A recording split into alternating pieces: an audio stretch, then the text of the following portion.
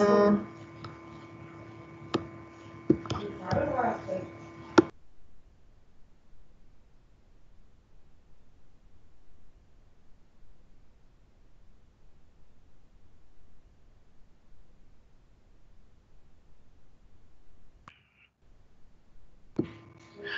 may I ask anyone who joined to switch off them of their mics and their video?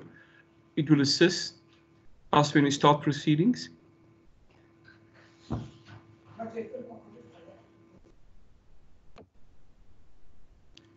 Mr. Mulder, welcome.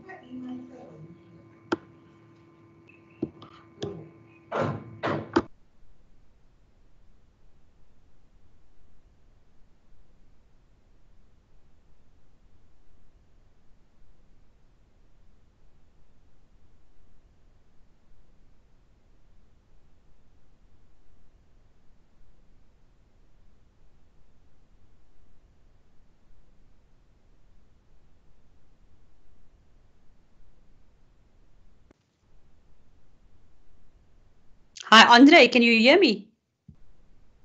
Jody, hi, I can hear you clearly.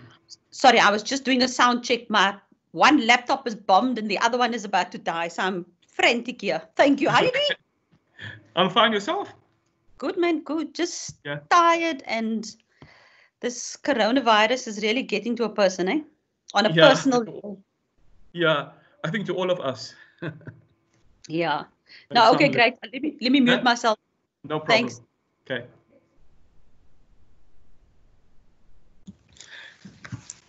Good afternoon. Good afternoon. You can hear me. I can hear you clearly.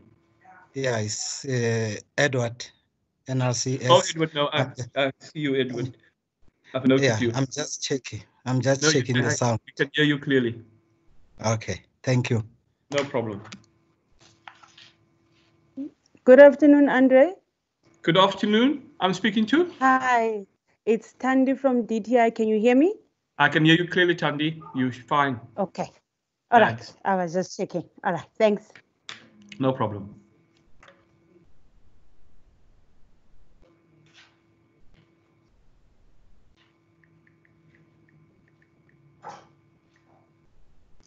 Mr. Mbuyani,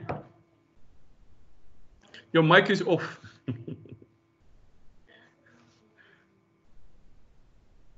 How are you? How are you, I'm, Mr. I'm Andre? fine. I'm fine. Yourself? No, I'm well. That's good. How's that's good. How's the thing in USA? You know Perfect. this technology. No, You're perfect. perfect. Perfect. No, all right. No, thank Okay.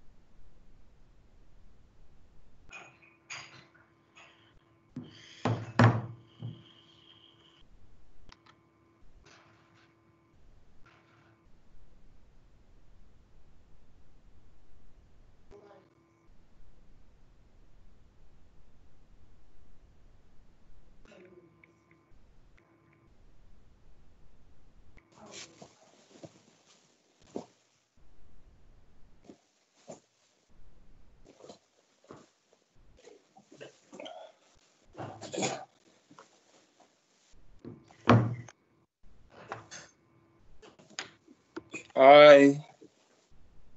Hi, Andre. Afternoon chair was getting worried. Uh, it's a house cures. You see, I had to wash the cups before I okay. come here. you had no choice. I was drinking a lot of coffee. Okay. no fine. they don't. They don't. They don't like the kitchen dirty. Okay. Yeah, I see we 28 connected. Yes, Chair, we are connected 28. We are six members currently connected, Chair. Um, Okay. So we can proceed at, at, at, at three o'clock if we need to, Chair. No, we can proceed at three o'clock, Chair. But I will. I will keep track of, of members joining. Thank you. Thank you very much. Okay. Okay.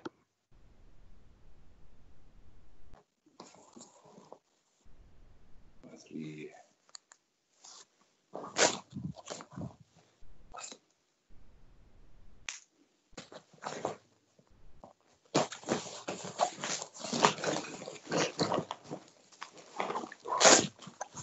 Continue.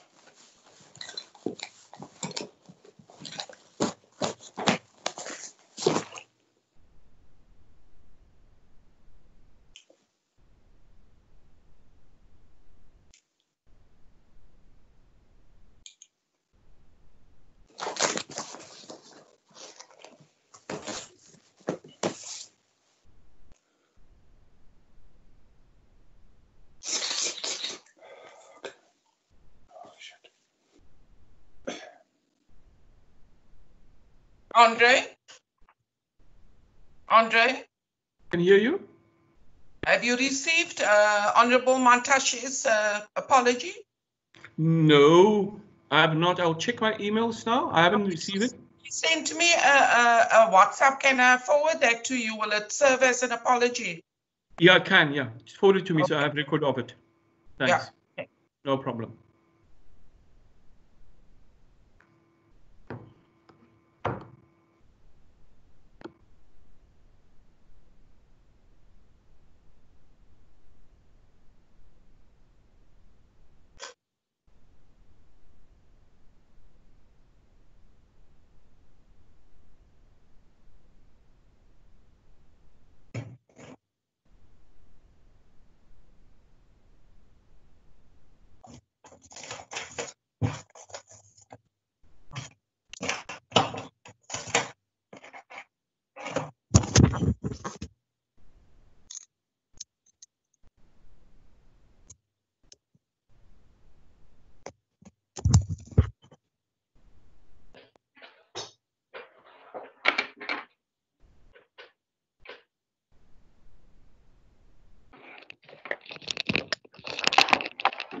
Chair, we have one minute before we start proceedings, Chair.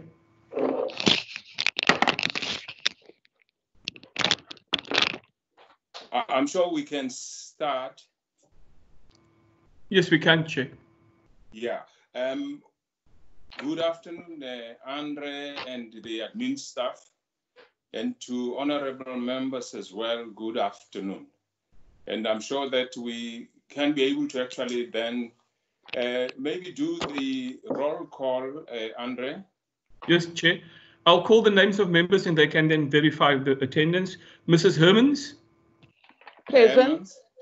Thank you. Ms. Mutahum, Mutaum. Present. Thank Miss- you. Ms. Muatse, Muatse. Present. Thank you. Mr. Macpherson, Yeah, I'm here. Thank Mr. you. Mulder, All present. Thank you, Chair. Thank Mr. you. Mbuyani, Mbuyane. Present. Thank you. Chair. Then we Yes. have three apologies, Chair, Yes. from Mr. Cuthbert, who is on paternity leave. Yes. Mr. Thring, who is attending the Public Works Committee meeting, Chair, because he's serving on many committees. Yes. And then Ms. Mantashe, who is not feeling well, she's currently at the doctor, Chair. Yes. Can I then just check with the members, because I'm sure in terms of today's program, if you can put it up. But for apologies, can I actually then check uh, that we accept the apologies, unless maybe there's any other comment from members? We'll accept the apologies of members. And uh, I think um, we will actually then look at the adoption of the agenda. And um, the two items presentation by the DTI and technical infrastructure institutions and uh, the contribute their contribution to COVID-19 pandemic. There's going to be actually the uh, questions, uh, comments um, session after the presentation. And then we're going to be actually looking at the next uh, part, which is formal consideration of the budget vote uh, which we agreed to. I'm sure we can actually take comments on that. And then I think that's the end of the agenda as proposed before the committee. Uh, honorable members, here's the agenda. Chair. Uh, yes, Chairperson, Okay. yes, Moatse, yes, Honorable Mwatse. I move for adoption of the agenda. Thank you very much, Mr. uh, Mubuyani, Chair, raise his hand. Mr. Mubuyani. Honorable Mbuyani. Chairperson, thank you very much. Uh, I would like to, uh, to second the proposal to adopt the agenda. Thank you very much. Your, your image looks better today and I can hear you properly. I hope it No. goes out there through, throughout the meeting. So the second, that, uh, can I check if ever there's any objection, honorable members? And uh, if not, uh, I would ask that um, we actually then proceed, having actually adopted the agenda, to take the first presentation, uh, which we actually just agreed to. Uh, honorable Sec- uh, uh, members, I'm sure the Secretariat will actually um, Chair. pick up on that. Uh, Andre? Chair, if I may, the, the DTIC will, will start the- with a brief overview, then they will follow by each, each technical infrastructure institutions. So it will follow in the order of the presentation, Chair. and thereafter Okay. we will then have the engagement. Wonderful, wonderful. Yeah, can we then agree in that order, honorable members? I'm sure we actually have those presentation, uh, actually circulated. Can we actually invite uh, the DTIC? I'm not sure who would be actually leading the team. Chair? Yes. Chair, may, may I just uh, uh, um, request that whoever is starting the presentation should introduce themselves, and as they go along, they should do that also, Chair. Okay, can I invite the uh, official of the DTIC to introduce uh, himself or herself and maybe the entities those will be presenting? Can I then invite the DTIC to talk to us? Good afternoon. Good afternoon, Honorable Chair and Honorable Members. Um, it's uh, Ms. Tandi Pele. Uh, apologies if I switch off my switch on my video, my connection gets really bad. Um, if it's allowed by the committee, can I continue with my video off? Uh, if it's acceptable? would- we would really love to hear your voice. The image, uh, we, we, we may feel bad, but it's okay. Okay, all right. Yeah. Uh, thank, th- th- thank you, Honorable Chair. Uh, as I've already indicated, I'm Tandi Pele. I'm the Acting Deputy Director General of the Industrial Competitiveness and Growth uh, Division, um, formerly known as the Industrial Development Division, IDD. I'm here with my colleague, Dr. De- Chenge Dimani, who's the Chief Director responsible for technical infrastructure work in the department. Um, we are here with our four entities, uh, the Bureau, South African Bureau of Standard, led by Ms. Jody Scholtz, who's the lead administrator. Um, uh, we are also here with uh, National Regulator for Compulsory Specification, uh, which is uh, led by uh, Edward Mamadise, the CEO. Um, and we are joined again by the South African National Accreditation System, um, uh, led by the CEO Ron, Mr. Dr. Ron, and also um, the CEO of, of NMISA, um, Ms. Sandra Kulu. Um, Chair, uh, we will run through uh, a very a bit of a lengthy presentation, um, uh, but this presentation is going to be shared between all of us, given the integrated nature of the technical infrastructure work. Uh, we will try by all means to be as, uh, as, as, as, as, as quickly as possible, but not losing the key points that we would like to put forward to the committee. Uh, Chenge Dimani will be running through the presentation. Chenge, can you put, please put Yeah. the presentation on the Maybe the other point, the other point which may make things easier, DDG, is to say that at least this, the presentation was circulated in good time. Members have actually read through them as well, and I'm sure your, your approach is quite acceptable. Thank you. Thank, thank you, Chair. Um, Chenge, uh, are you able to put the presentation through? Uh, Secretary, can you please confirm if uh, uh, the, mem- the members are, uh, the presentation is visible on the screen? It is visible on the screen. Members can see it on the screen. Yes, thank you. Okay. All right. Th- uh, th- thanks, you. Th- thanks, Secretary. Um, I think I will do just a quick overview of uh, our presentation and our approach to this presentation. Uh, first, locating the work of the technical infrastructure within the broader industrial policy of the Department of the Nation. Um, um, as the committee would know, we launched what we call the Reimagine Industrial Strategy at the beginning of the sixth administration uh, which uh, is aimed at deepening industrial development, uh, preserve and create decent jobs, uh, and achieve structural transformation and reforms in the economy. Uh, the department is implementing the strategy through a focused approach on developing high impact programs as set out in the different sectoral master plan. But for today's discussion, we are here to, to give a, a view of the work that we have uh, been engaged with as technical infrastructure institutions to contribute to measures to combat uh, against the COVID-19. Uh, as the committee members are now uh, fairly, uh, fairly to the issues to the, the virus, that the outbreak is having massive impact on the global health system, uh, huge disruption on uh, supply chains, economic growth. Um, in South Africa, this shock is being felt through all the productive sectors. Um, it's posing significant risks to industrial capacity and jobs. However, the pandemic, the pandemic itself had also created opportunities that are currently being uh, pursued to support the health system through the development and uh, enhancement of industrial capabilities and local production. Uh, because technical infrastructure or standard-based uh, uh, instruments are one of the key instruments or what we call a toolbox of our industrial policy uh, interventions, we are locating this work very much into our approach to sector work and how we should be utilizing these instruments to ensure that uh, we enhance uh, um, our development work and, and, and development of the various sectors.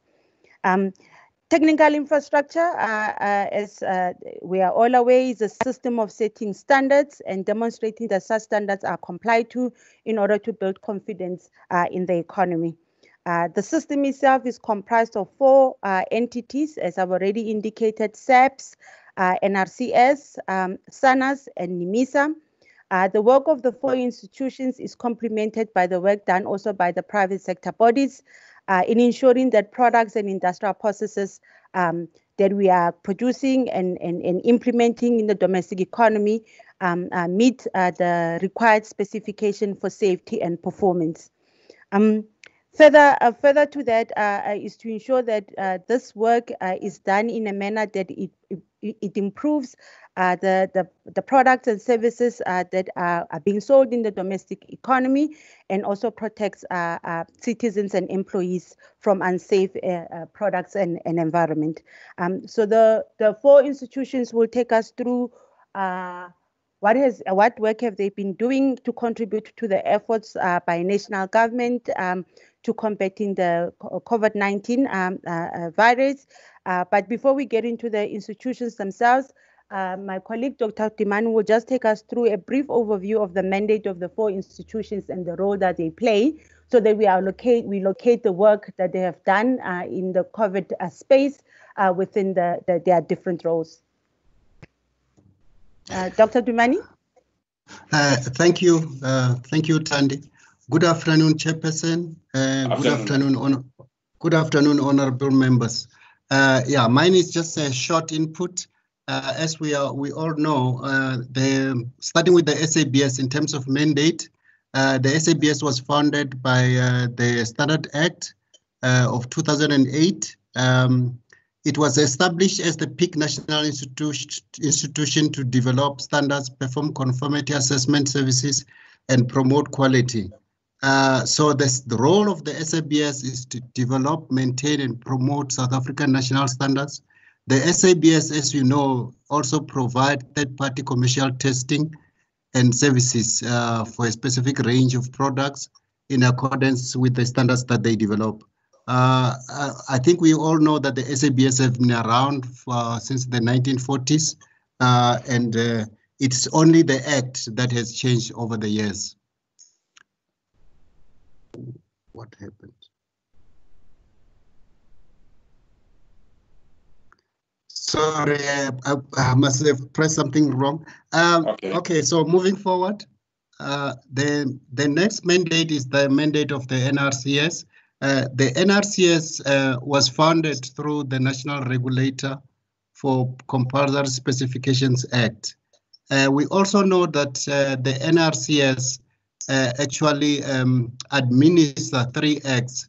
There is the Legal Metrology Act that is there to ensure that there is enforcement and protection against short measure. Uh, and then the, the NRCS also has the National Building Regulation and Building Standards Acts that they administer. The purpose of this act is to promote uniformity in the law relating to the erection of building and is for prescribing that uh, uh, building plans uh, are actually approved by local authorities. Uh, so in short, the role of the NRCS is to develop compulsory specifications and to ensure that those compulsory specifications are actually enforced. And this uh, is for specific products uh, that have been um, identified. And these products are found in the chemicals, materials, and mechanical space, in the electrotechnical space, in foods and also in the automotive industry. Uh, the next uh, entity that is here with us today is SANAS. SANAS was established by the Accreditation for Conformity uh, Assessment, Calibration and Good Laboratory Practice Act. Uh, as the only uh, national accreditation body in South Africa. So the role of SANAS to, is to create an impartial and transparent mechanism for organizations to independently demonstrate that they are competent to do the work uh, that they uh, they claim they do. So in in essence, uh, the role of SANAS is to ensure that uh, uh, the bodies that perform testing, inspection, and certification are competent. So SANAS is all about competence. Uh, the next body is the National Metrology Institute of South Africa, NMISA for short. NMISA was established by the Measurement Units and Measurement Standards Act of 2006. Uh, NMISA is there to provide for the use of measurement units of the International System of Units and to designate other measurement units for use. Uh, so the role of NMISA is to ensure that measurements performed uh, nationally in science, in industry, or for legal purposes are accurate and are actually international acceptable. Uh, so in other words, NMISA is there to make sure that uh, standard certification and inspection actually give us the, the right answers. So NMISA is there for the right answer. Okay, so uh, before the entities come through, uh, let, let me just uh, state that uh, following the declaration of the national state of uh, disaster in March, the technical infrastructure entities needed to continue uh, as they provide essential services.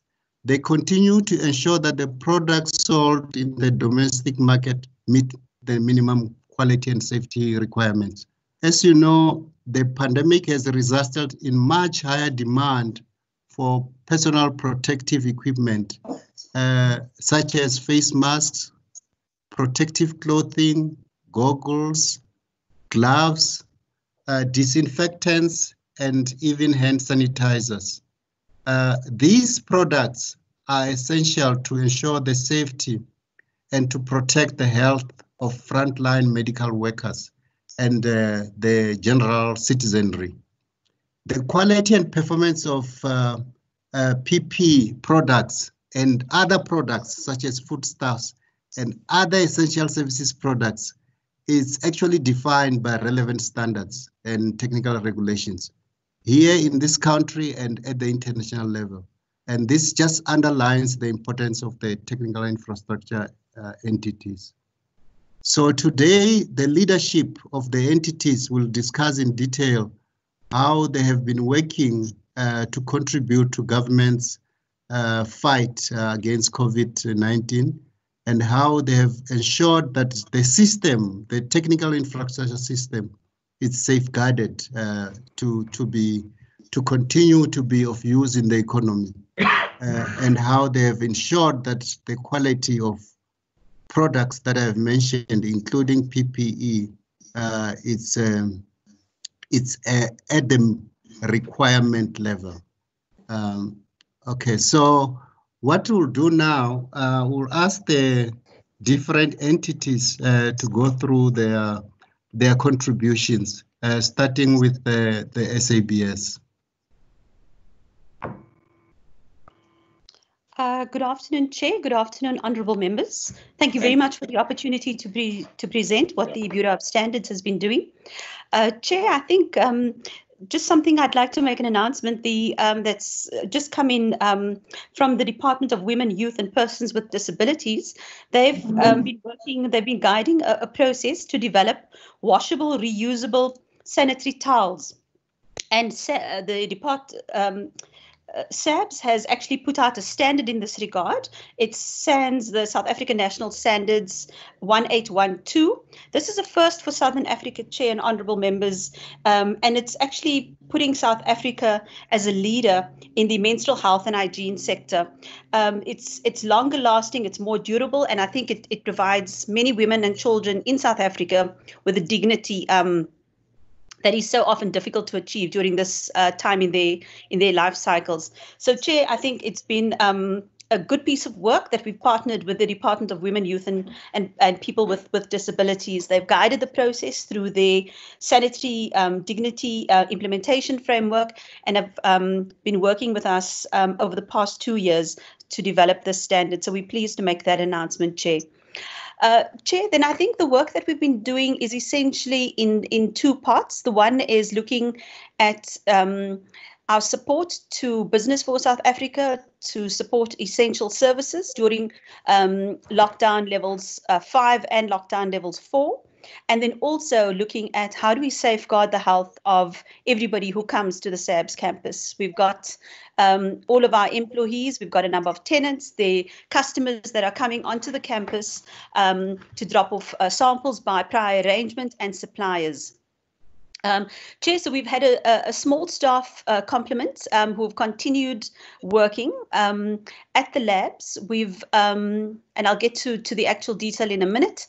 We've also been assisting with uh, Business for South Africa, looking at consignment inspections on procured um, uh, PPE um, that that's been um, that's been bought for both the public health uh, sector as well as the private health sector. Uh, if you wouldn't mind moving to the next slide, please.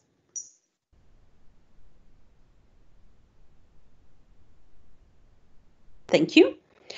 Um, Jess, I think for us it's been uh, quite important from um, uh, just from an uh, occupational health and safety point of view that we adhere to all of the regulations and, and the protocols.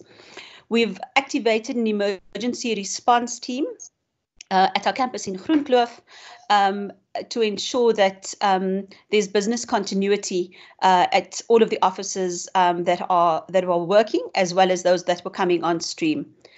Uh, we've done a very comprehensive hygiene uh, awareness campaign looking at all preventative measures. Um, we did a walkabout yesterday at the campus just to make sure that as we are preparing for next week when more people would be coming in that we that we've um, adhered to all of the, the the regulations so in terms of making sure that we've got areas for isolation should anything happen um, the clinics, the occupational health and safety practitioner is on board, um, and there's there's defined processes in place to manage that. We've also put a ban on our, all our travel, um, and and because uh, many of our um, certification auditors they actually go out to um, clients in their premises, um, and uh, so we, we we've needed to to do that. Um, we've also limited visits by customers and service providers to the campus sample delivery is scheduled and, and um, is managed uh, in accordance with the standard operating procedure. Um, we've uh, looked at, at remote working during level five and, um, and also level four. Um, next slide, please.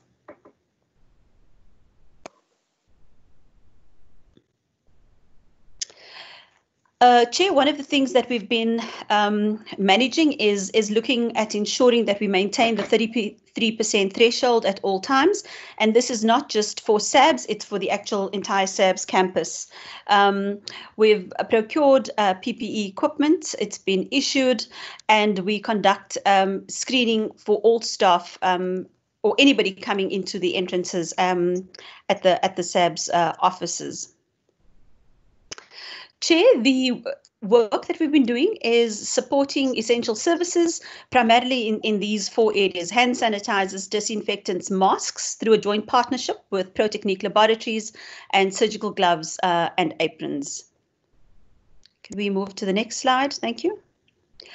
The laboratories that we've um, that have worked during uh, lockdown levels uh, five and four have been the food microbiology, uh, pharmaceutical chemistry, fiber and polymers, industrial chemistry.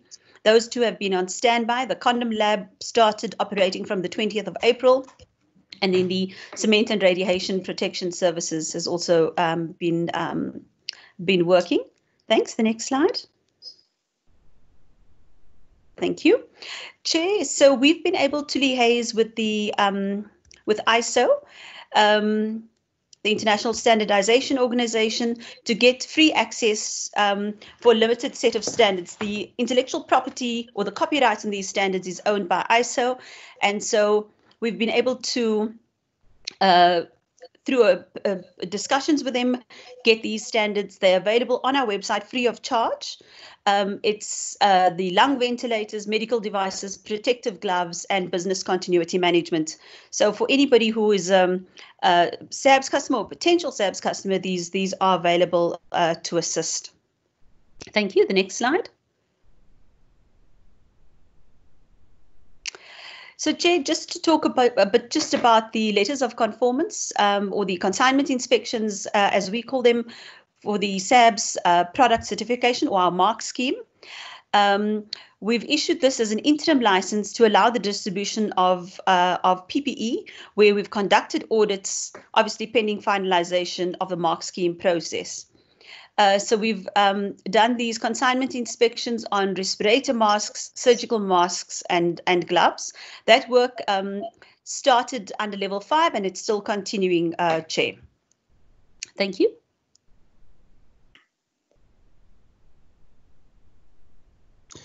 Uh, so the, the next entity to present will be the NRCS. Okay. Okay, go ahead.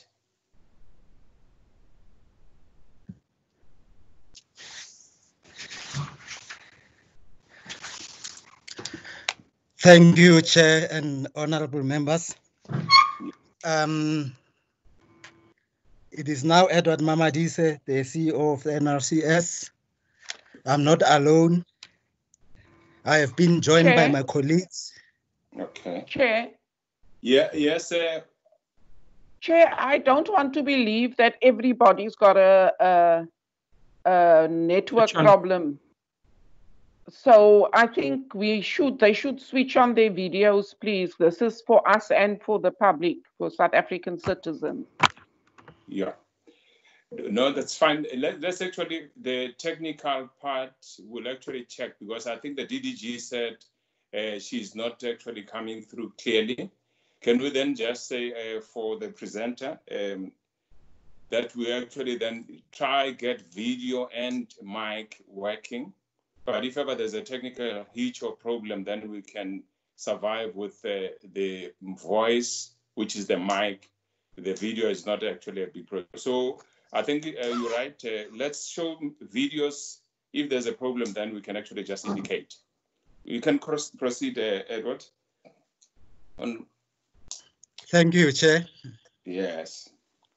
Um, as I've said, I'm not alone. I'm with my colleagues Abigail Tulare. She's our COO, Edward Matemba, our manager strategy, and Macy Katz, um, general manager for food, and Thomas Mazibe, general manager for um, uh, chemical and materials, CMM. Um, now to the presentation, Chair.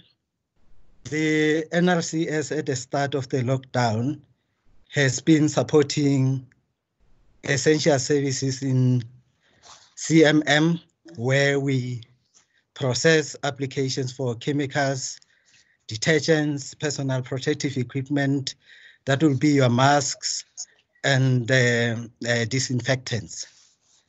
We have also been supporting in the area of food, the fishery products, canned meat and processed meat.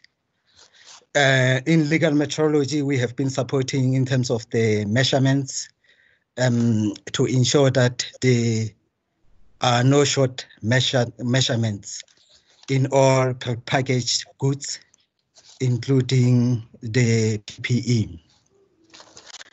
In level four, the automotive was added, where now the automotive will be also be supporting the essential uh, services. Um, obviously, with we can move to the next slide. Who is moving the slides? Yes. Obviously, Chair, with the emergence of the pandemic, NRCS has to put the safety of our employees first. We had to develop an, a COVID plan the COVID plan include risk assessment, provision of PPE, uh, occupational health safety of all our employees, re-engineering our business processes and reorganizing ourselves to ensure that we are able to support the essential services.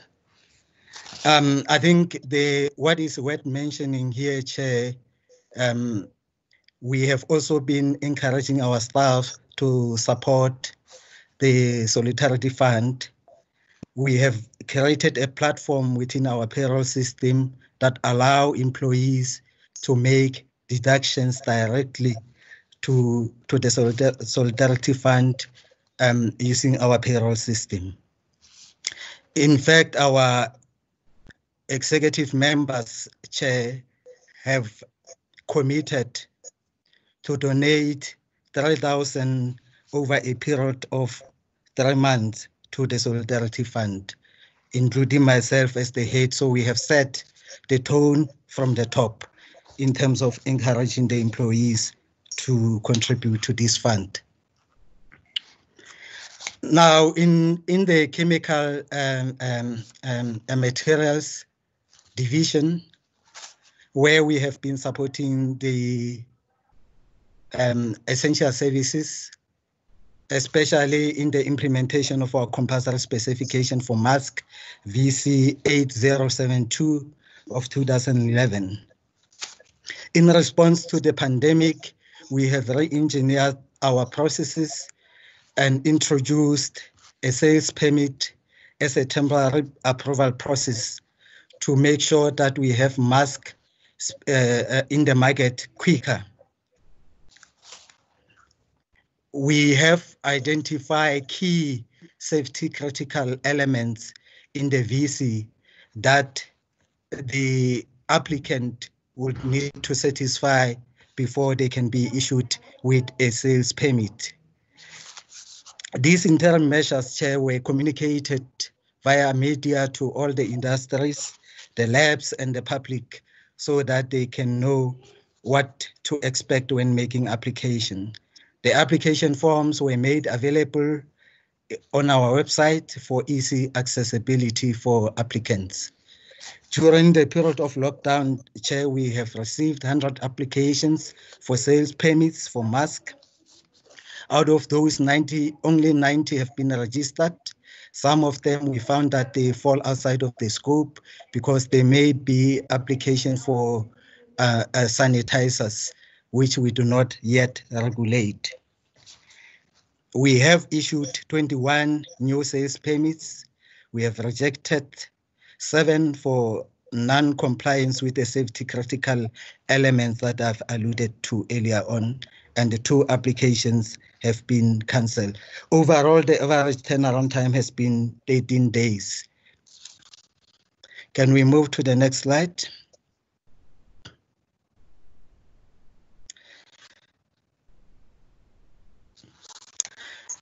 Working with other stakeholders, we have identified the gaps in the uh, regulatory space where we identified that sanitizers have not been regulated, which means that everyone is at the moment producing any uh, sort of a product and they can name it a sanitizer because there is no regulator to ensure that there are compulsory uh, uh, requirements.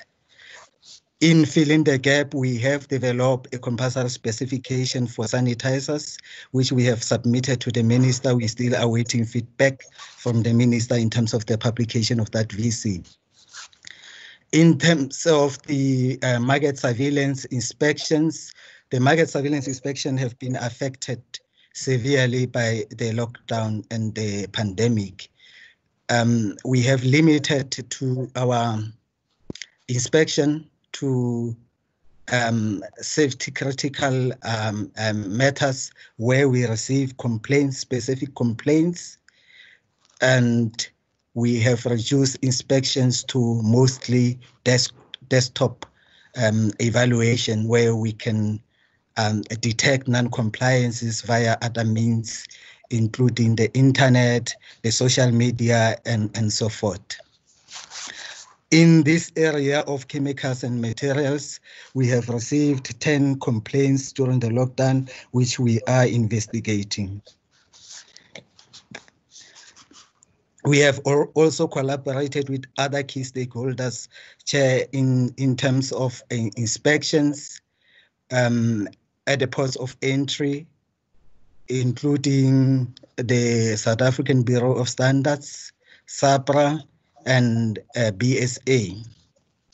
We are also participating in the National Committee of COVID-19 Occupational Health and Safety and PPE Committee comprising of Department of Health, DTIC, National Treasury, BSA, and other stakeholders. If we can move to the next slide. Now in the food area, we have developed an operational plan to ensure continuity to both the fishery and the meat industry, which plans have been communicated to the industry. We have classified products in terms of risk, food safety, and we prioritize inspections accordingly. We have, in collaboration with the Department of Environment, Forestry and Fisheries, continued to process the process of monitoring sampling of live aquaculture animals to ensure farms remain productive both in the Eastern and the Western Cape. This has allowed industry to have enough live export to be uh, uh, exported, uh, exported. If we can move to the next slide in terms of the frozen fish, we have adjusted the operation to assist the industry to, to be able to export um, frozen fishery products by registering most of the exporters on our on the electronic system called Traces. Traces is a European uh, system where any exporter can register for easy issuance of health guarantees. This process has allowed us to facilitate trade to those for, for those companies who wanted to export fishery products during a lockdown. We have supported the special cargo flights departing from the OR Tambo uh, International Airport by inspecting products at OR Tambo, issued, issuing health guarantees before the products can be exported. This has kept us busy, in, especially in our Pretoria offices. We have issued in total um, 1231 health guarantees, including compliance certificates. We have conducted 1906 inspection during the period of lockdown in April. In total, we have assisted uh, 103 businesses, both local exporters and importers. If we can move to the next slide. We have, in terms of the non-compliance, we have identified the following non-compliances. Um, there was an incident of manipulation of best before date for food packs meant for South African Defence Force. The matter is still under investigation. It has been referred to our legal services for further investigation. In the meantime, we have issued a directive to the supplier to make sure that they recall the products um, and keep them in their possession until further um, notice once the investigation has been completed. We also received a complaint that we investigated in respect to the canned fish, which we found being sold in certain spaza shops. The canned fish in question, it is marked clearly not for sale because it is meant for a school feeding program administered by the Department of Education. We have investigated the matters and referred the complaints to the Department of, Edu for further handling. In the legal metrology space, we have supported the essential services by making sure that we continue our market surveillance inspection. The inspection, as I've said, they focus mainly on desktop, desktop evaluation. We only do physical inspection where it is necessary to do so or is unavoidable. We have investigated in total four complaints, two complaints relating to uh, short measurements. The businesses in questions have been sanctioned.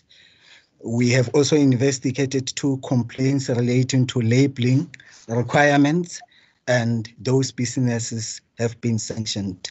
If we can move to the next slide.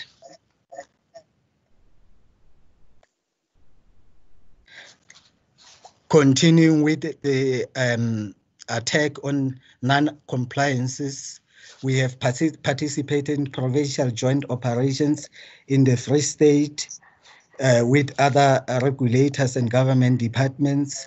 And, and in that process, we have uh, visited eight businesses, confiscated eight product lines for non, various non-compliance, including short measurements. If we can move to the next slide. And uh, before I close, Chair, I think that is the end of my presentation. But before before I close, let me just highlight that in uh, the impact of the COVID-19 has been felt um, um, also by NRCS. There are lessons that we have learned throughout the process including the utilization of the ICT ICT platforms to for business continuity.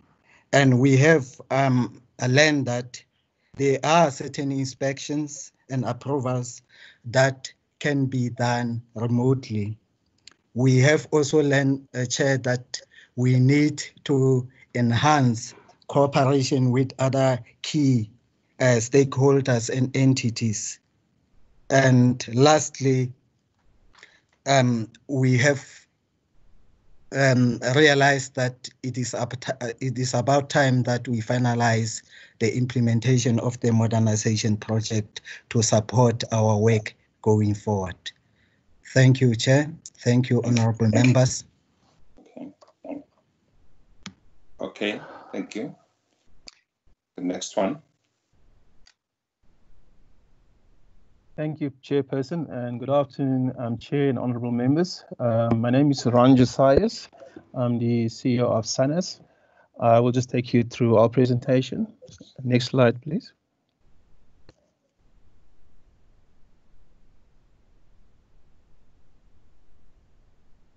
Chairperson, I'll just um, talk um, within these four quadrants that we have um, addressed uh, our contribution or changes with regards to the COVID-19 um, in the operational, financial, and um, personnel as regulatory side.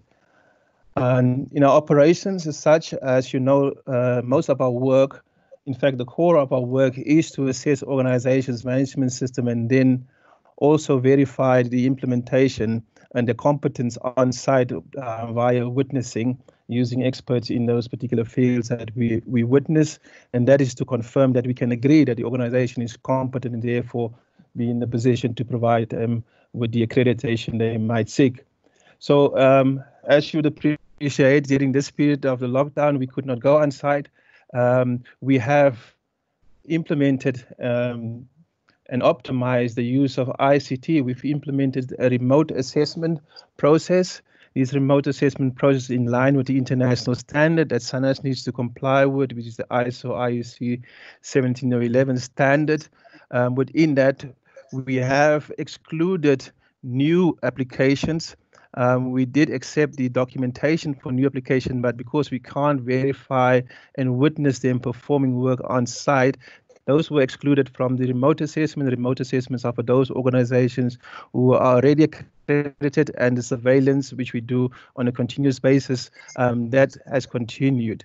Um, we have also drafted a specific document to deal with the remote assessments and the management execution thereof, which is our P35 document, which has been made available to all um, um, the, the public as well as the conformity assessment bodies. Um, in the space of the finances, Chairperson, we have seen a huge increase, uh, quite, uh, yeah, an increase in the withdrawals of accreditation um, uh, uh, supported by or motivated by the economic conditions that the conformity assessment bodies, such as laboratories, inspection bodies, and certification bodies are under at this point in time. We have uh, implemented a rebate of uh, equivalent to about two months accreditation fees, uh, which we have now issued to all the accredited organizations. Um, and furthermore, we've also extended the payment period for annual fees um, from the normal uh, 60 days to 90 days. Um, chairperson, as well as the COVID-19 um, a lot of the conformity assessment bodies were not that ready, as never tested it much for COVID-19, and we needed to ensure that the competence are there. We have, as SANAS, um, decided to extend the scope um, and the assessment and the verification of the co competence to test to COVID-19 uh, to do that for free. So um, the, to those accreditation bodies who are already accredited and who has been testing similar uh, uh, uh tests as the COVID-19, um, we have about 13 of those medical laboratories that's currently in the process undergoing uh, the assessments of, of their competence to, to add to the scope of accreditation the COVID-19. Chairperson, on the issue of the personnel, um, our people, our work, um, we continue to work as um, as SANAS. Um, all our people working from home. We have uh, provided them with all the necessary equipment. Um, in addition to that, their welfare was important to us as well. As you know, it's a quite a stressful time. Um, we have implemented and actually uh, strengthened our wellness support programs uh, as well as our counseling. We have an independent company that they can approach for counseling should that be required. So we have continued with those processes to make sure that our, our, our staff uh, are, are, looked after as well. Um, over the past, we have established a task force, a COVID-19 task force since the beginning, and the, the task force has been meeting like uh, three times a week. Uh, very specifically, we were looking at the risk uh, um, and the risk assessment documentation or process that was laid out by DEL, and we have implemented that. And um, pretty soon, on the 1st of June, um, about a third of our staff will be going back. 33% uh, of our staff will be be returning to work, and that will be done on a rotational basis.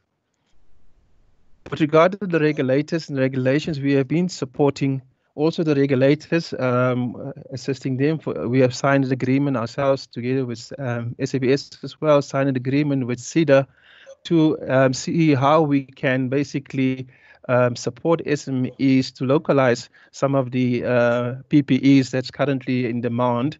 Um, that process is ongoing. There's a lot of discussion, a lot of advice coming from all the different structures at this at this point in time. The second regulator that we've been engaging in quite a bit is SAHPRA. SAHPRA, as you know, SAHPRA is the regulator for medical devices as well, um, which a lot of the, the, the, the, devices and equipment that we currently need falls under their responsibilities.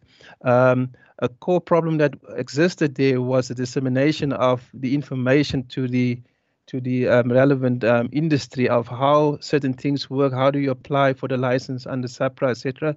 We have um, SAHPRA has provided us that information as well, and we have distributed it and made that available on our websites as well to the uh, to the public as well as to to industry. Next slide, please. Chair, to be more specific, in our medical laboratory sites, um, the medical laboratories largely uh, COVID-19 testing is done in medical laboratories.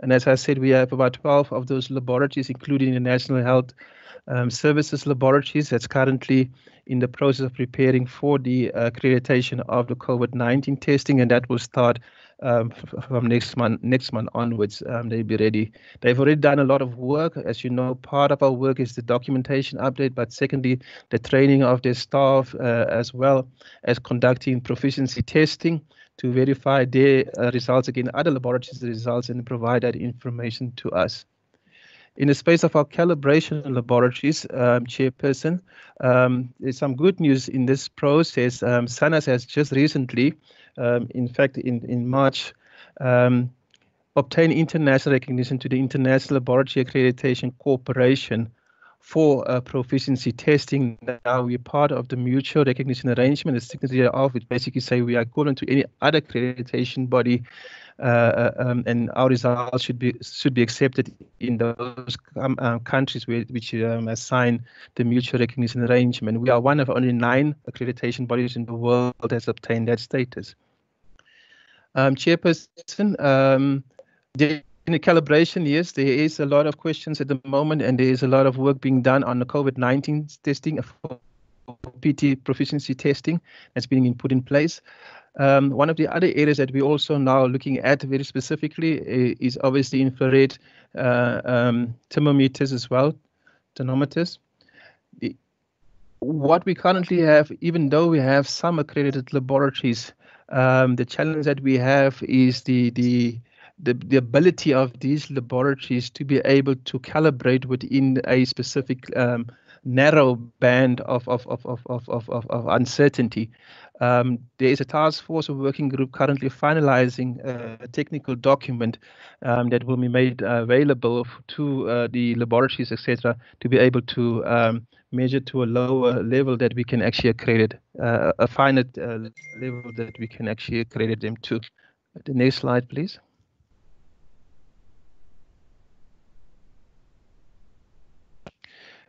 With regards to the uh, um, PPE testing um, for testing laboratories, yes, we have accredited basically um, three laboratories uh, for sanitizers, disinfectants, and soaps. Um, currently, uh, one of our big challenges is the mask. Um, we do not have an accredited organization that can test the mask. However, under the NRCS, they have given permission to a laboratory um, to do such um, um, uh, uh, testing. Very specifically, the challenge here is there's some laboratories might be able to to measure for bacteria, um, but not necessary for for for viruses. And and and obviously, we're still looking at the necessary competency in this particular area as well. With regards to our inspection bodies, our inspection bodies continue to do work in the X-ray equipment. Obviously, the diagnostics uh, and the accuracies of that um, through our X-ray um, equipment is quite important. So they continue with the inspection function in that in that in that particular area with regard to abattoirs in terms of abattoirs in terms of the the meat etc as well those ones continue as well. And as well as the gas and the gas test stations very specifically focusing on the on the safety of our gas cylinders. Um, as you know gas is becoming now more and more important specifically in the areas of the hospitals and clinics etc where um, we need to ensure the safety of those cylinders um, as we're using them as we go along. Um, the next slide please in the space of triple BEE chairperson, um, we had to change also the the standard that these the the triple BEE um, bodies comply with, which is R47. Uh, and that is to make provision for them to do also remote assessments or um, electronic assessments, as what we call it.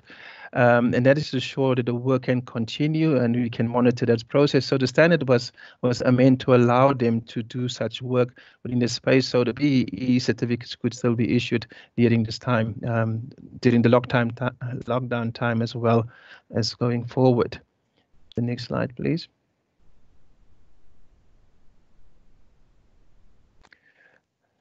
Chairperson, we just added the slide to see where we're going with the organization in terms of preparing, obviously, the challenge that we, we will be dealing with um, within the next few months and also after COVID-19, the after effects of COVID-19.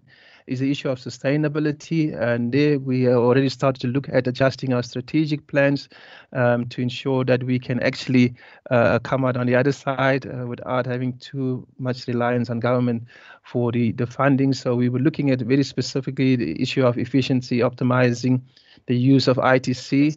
We have learned a lot of lessons. Part of the remote assessments that we've done so far was actually to gather information of the experiences of those uh, conformity assessment bodies that we've assessed via the remote assessments. We now have a, a library of, of lessons learned and we're already starting to incorporate that into our, our, our, systems and processes to ensure that it might not only be a once off, but we might be able to continue to use and see how we can optimize ITC in this particular space. We're also going to have to look at more, much more in terms of expanding our offerings, uh, the, the accreditation scopes, um, as well as uh, increase on the uh, training part. On the value addition part is the um, we will now um, also start to roll out the e-certificates, um, accreditation certificates, where the organizations will get the first page and the scope of accreditation will be on the SANAS website and it will be controlled uh, and, and live all the time so that anybody can see exactly who's accredited and what they're accredited for. Um, then, Chair, with regards to the the the organizational setup, um, we have learned a lot from this COVID-19, and one of those areas is, is, in fact, yes, we can indeed work from home, and we can be efficient working from home. Um, and so the issue of flexibility, some of the lessons that we're going to have to take forward, uh, the issue of access and control improvements, um, we is some of the lessons that we're taking forward um, as well. Um, what we learned from this. In addition to that, also we've also set up with SANAS the uh, uh, uh the mechanism to be for our staff to contribute to the national fund uh, as well. Uh, next slide.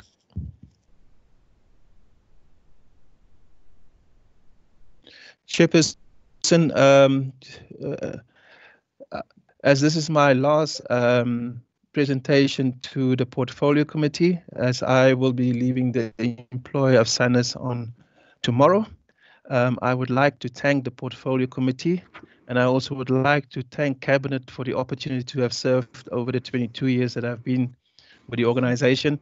And I thank you very much. Thank you, Chair. Well received. Thank you very much. And um, thanks for informing us. Thanks. Can we take the next presentation? Good afternoon, honorable members. Um, good afternoon, Chairperson and yeah. colleagues. My name is Ndwakhulu Mukhufhi, the CEO of NMISA. I will be taking you through um, work that NMISA has been doing in responding to the COVID-19 um, pandemic. Um, maybe I should just start by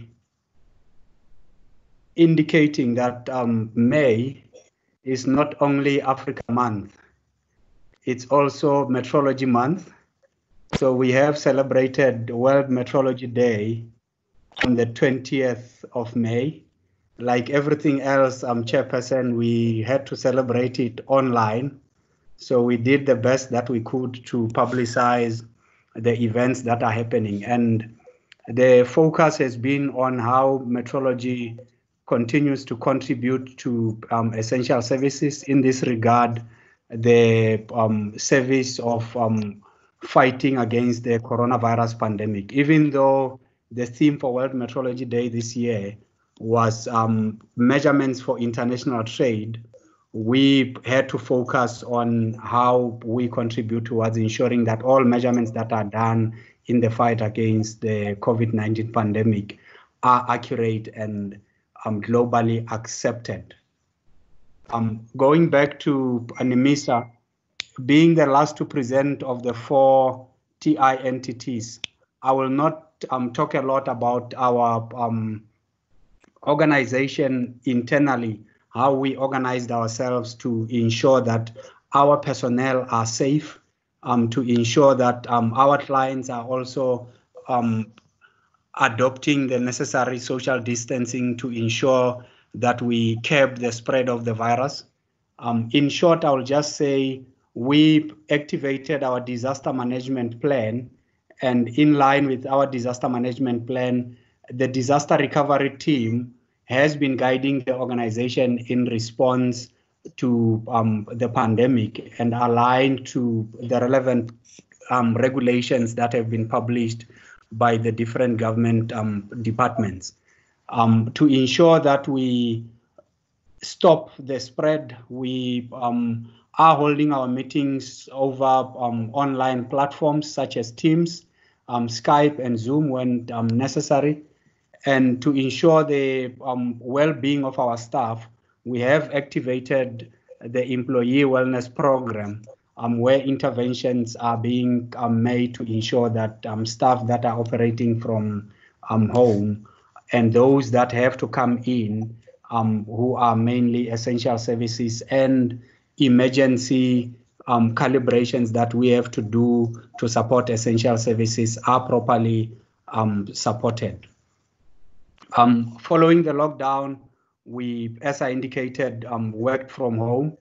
Um, when we moved to level four, some laboratory um, work has resumed. Um, and this is under very strict occupational health and safety guidelines to ensure that the national measurement standards are compared. As you heard from the previous um, presentations from NRCS and SANAS, it is important that our um, measurements that we um, conduct in the country are um, comparable to the rest of the world and they are accurate. Um, we, in level four, continue to um, supply the certified reference material that we had produced previously, but the preparation of um, the certified reference material will only resume in um, level three. If we can go to the next slide, please. We continue to provide um, our services. Um, the list of services that we provided is um, on the screen there. Um, what I want to just pick up on is um, just a few. Um, the important one being the reference gas mixtures that we've been supplying to gas manufacturers and producers to ensure that, as you know, I think um, the CEO of the NRCS also indicated, actually it's, it's SANAS that indicated that um, gases have become very important at this stage. And we've been providing the reference materials, which are the purified reference um, gas mixtures um, that the um, manufacturing plants use to um, test for their purity, um, the, to ensure that we have um, proper um, gases that are provided to, to um, patients when required. We've been calibrating in the X-ray space um, um dosimeters and for radiotherapy departments, we've been um, calibrating radio protection um, equipment. If, if we can go to the next slide, please.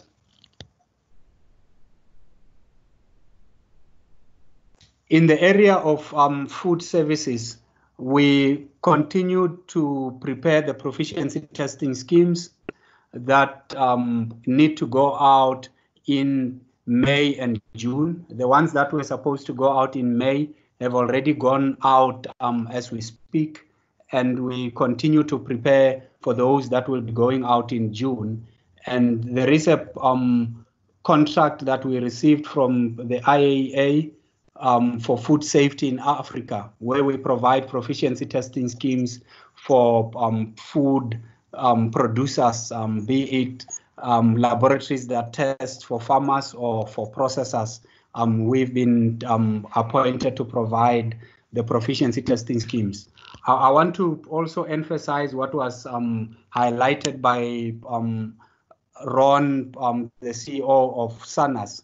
Their um, recognition um, by um, ILAC for, for proficiency testing schemes. We have been accredited for providing proficiency testing schemes. So we benefited from that recognition that um, SANAS um, received, that we don't have to use an overseas accreditation body to accredit our own proficiency testing schemes that we are now providing for um, products such as um, peanut slurry, um, testing for aflatoxins, for um, pesticides in sweet peppers, for uh, mycotoxins in cassava, for aflatoxins, M1 in milk, for pesticides, um, testing in bananas for pesticide residues in pears, as well as toxic elements in different products such as um, cocoa um, powder and um, toxic elements in um, maize meal. So those are the uh, PT schemes that we have been um, conducting um, during this period. If we can go to the next slide. Um, we got involved in special projects that are specifically um, developed in response to the pandemic. One important one was um, work that we've been doing with the CSIR for developing a handheld UVC light-based um, surface disinfection device so that um, the public transport um, vehicles such as um, taxis can be disinfected at the changeover points using this um, UVC. Having the capability for measuring UVC and calibrating this equipment, we um, have been involved in this uh, project providing the measurement solutions and the measurements required in that project. Um, in the area of ventilators, we've been um, providing measurement solutions to a company that um, has invented a UVC air disinfection system that would be used in ventilators. We've been providing the measurement solutions um, to ensure that the calibration would be in line with international standards and accurate. Um, again, still talking about disinfection, we are providing measurement solutions to two companies one company that has developed a UVC disinfection chamber. We are helping them with testing the efficacy of the UVC as well as the safety of the device when it's um, used by um, the, the users. Um, the other company, um, we are providing measurements on disinfection units um, for a touch-based fingerprint identification unit. I must indicate we've um, being part of the consortium that is looking at the National Ventilator Project, such that as we have made submissions, NMISA will be providing the measurement solutions that are required to ensure that the produced ventilators are complying with the strict um, medical requirements to ensure that it provides the life-saving service that is um, required. If we can move to the next slide, please.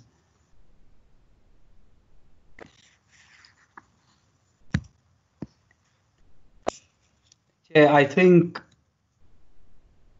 that would um, be my last slide, just to indicate that um, like the other TI entities and the DTI as a whole, we've learned lessons that indicate that there are different ways of doing things than what we've gotten used to. One of which um, that I just want to highlight and emphasize is the ability to work um, off-site, going to the site only when the physical laboratory work needs to be done, such that we limit the number of people that goes into the organization.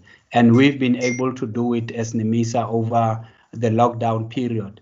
And we intend to continue um, to enhance our operation to ensure that the resources are applied with um, the necessary social distancing whilst we enhance the output um, that we give.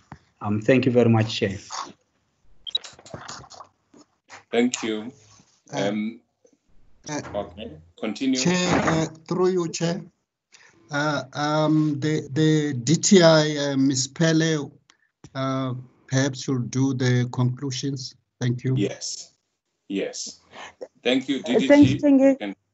Thank you, thank you, Chair. I think as a way of concluding, the one point that we would like to raise is that over the last two months or so, we have learned a couple of lessons uh, as the department together with the entities.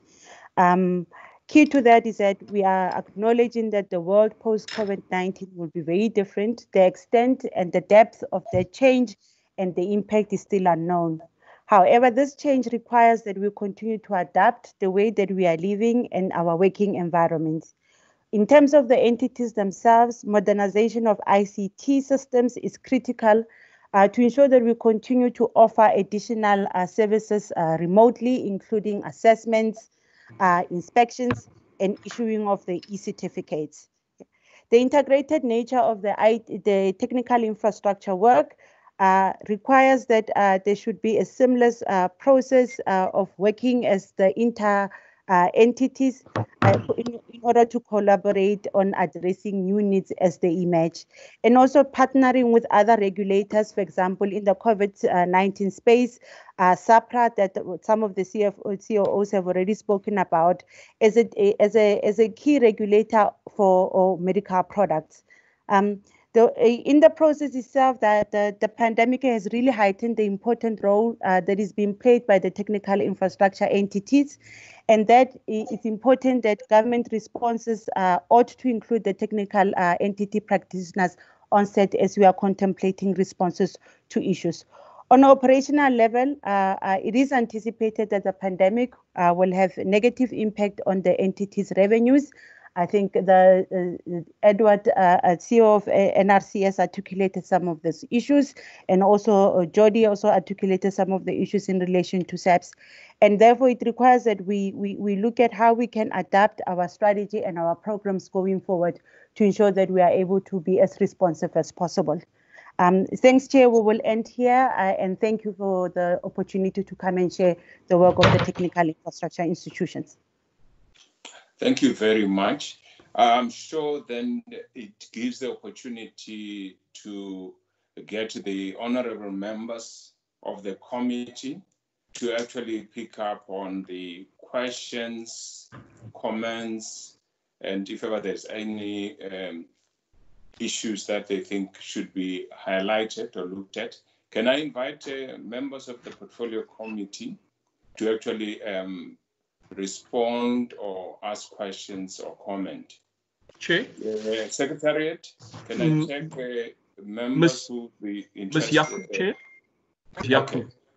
Yako, I was told that you, you actually came in. Thank you very much and welcome.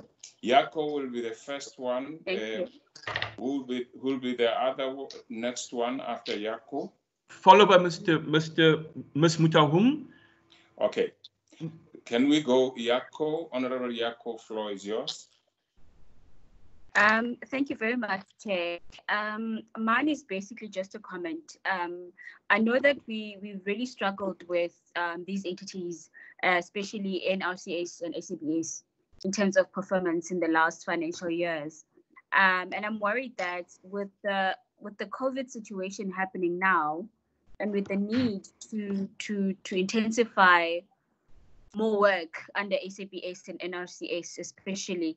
Um, are they coping? And also, um, the CEO of, of NRCS has highlighted the fact Honorable that, Yako. Um, they are Honorable Yako. Uh, Yako. Can you hear me? Hello. Honorable Yako, you were actually uh, uh, not very clear on the second part.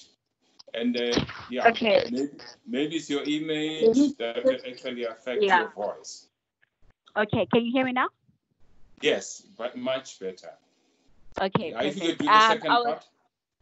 Yes, my question basically is that uh, what is SABS and NRCS doing in terms of making sure that they they have the capacity, first of all, with us going to level three, there'll be a more need for um, accredited and regularized um, PPE material. And I see that there are shortcuts being made by some companies as the demand gets bigger. Um, what is the interaction with the department in making sure that we don't, or our children who are going back to school, um, don't don't get PPE material that's substandard, and and also um, NRCS mentioned that there are 10 complaints, and I'm wondering what is their complaint system and how do they resolve those complaints? um, yeah, that's those are the questions that I have so far. Okay, thank you very much. Can you take um, Ms. Mutahu, Chair? Mutahu.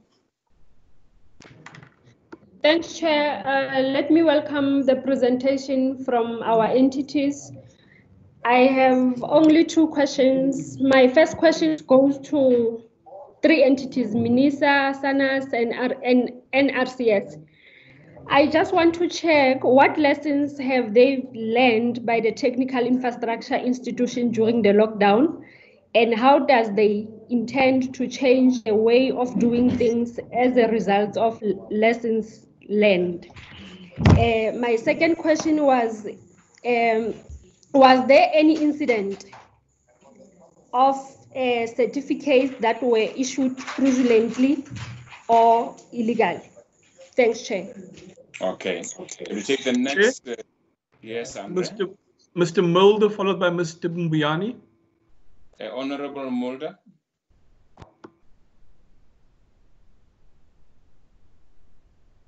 Honorable Mulder, floor is yours. Uh, thank you, Chair. Can you can you hear me? Yes, we can hear you now. Thank you, Chair. Um, Chair, my question is directed to the presenters of of all four institutions, the SABS, the NRCS, SANAS, and NMISA. Um, and in considering the sixth administration's reimagined industrial strategy as a central strategy to deepen industrial development, and the challenges that these four institutions, especially the, the SABS and the NRCS, experienced during the last financial year, and the fact that the department's budget uh, will most probably be cut back after the Minister of Finance is soon to be adjusted uh, budget vote. My question is, will the four institutions still be in a position to implement, implement um, th this industrial strategy? Um, yeah, let's just get to that. Thank you, Chair. Thank you, Mr. Gunda. Uh, uh, Mbuyane, I think Honorable Mbuyane. Chairperson, thank you very much, Chair. Uh, let me start by welcoming the presentation, Chairperson. I've got a few clarity seeking questions here. Uh, maybe one will start with uh, Maybe you actually just just uh, switch off your image so that maybe you can improve your voice. Okay. Yes, please. Yeah, image is not visible yeah. now, Chair. Voice, voice much better. Thank you. I just wanted to check one on the issues of the mandate uh, from uh, the three entities. Maybe the one deals with tariff uh, investigation and also trade uh, remedies and uh, the input and export uh, process. On the one chair is the import facilitation in terms of the duty, uh, there is the duty already. It's in section 15 of the ITAC. Um, we're still yes. not very clear, but uh, if you can try it, I'm not sure if ever you have to speak louder or stay, be steady when you speak. Try again steady. so that we can just check uh, how audible. Yes, Chairperson. Yeah. I'm audible enough. Yes, okay. Much better. Yes, Chairperson. One will be in terms of the import uh, import facilitation. I just wanted to check the duty the duty rate in terms of the section 15 of the ITAC. chapter. And also check in terms of their process, uh, how many NPO benefited uh, from uh, their, their, their process of COVID uh, regulation.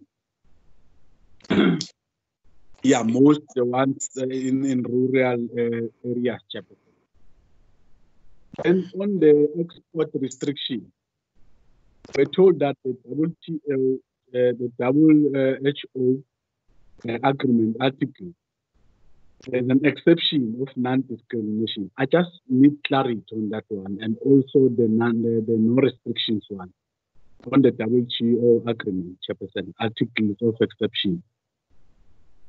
Maybe, Chairperson, on the issue of uh, wellness program uh, from SANA.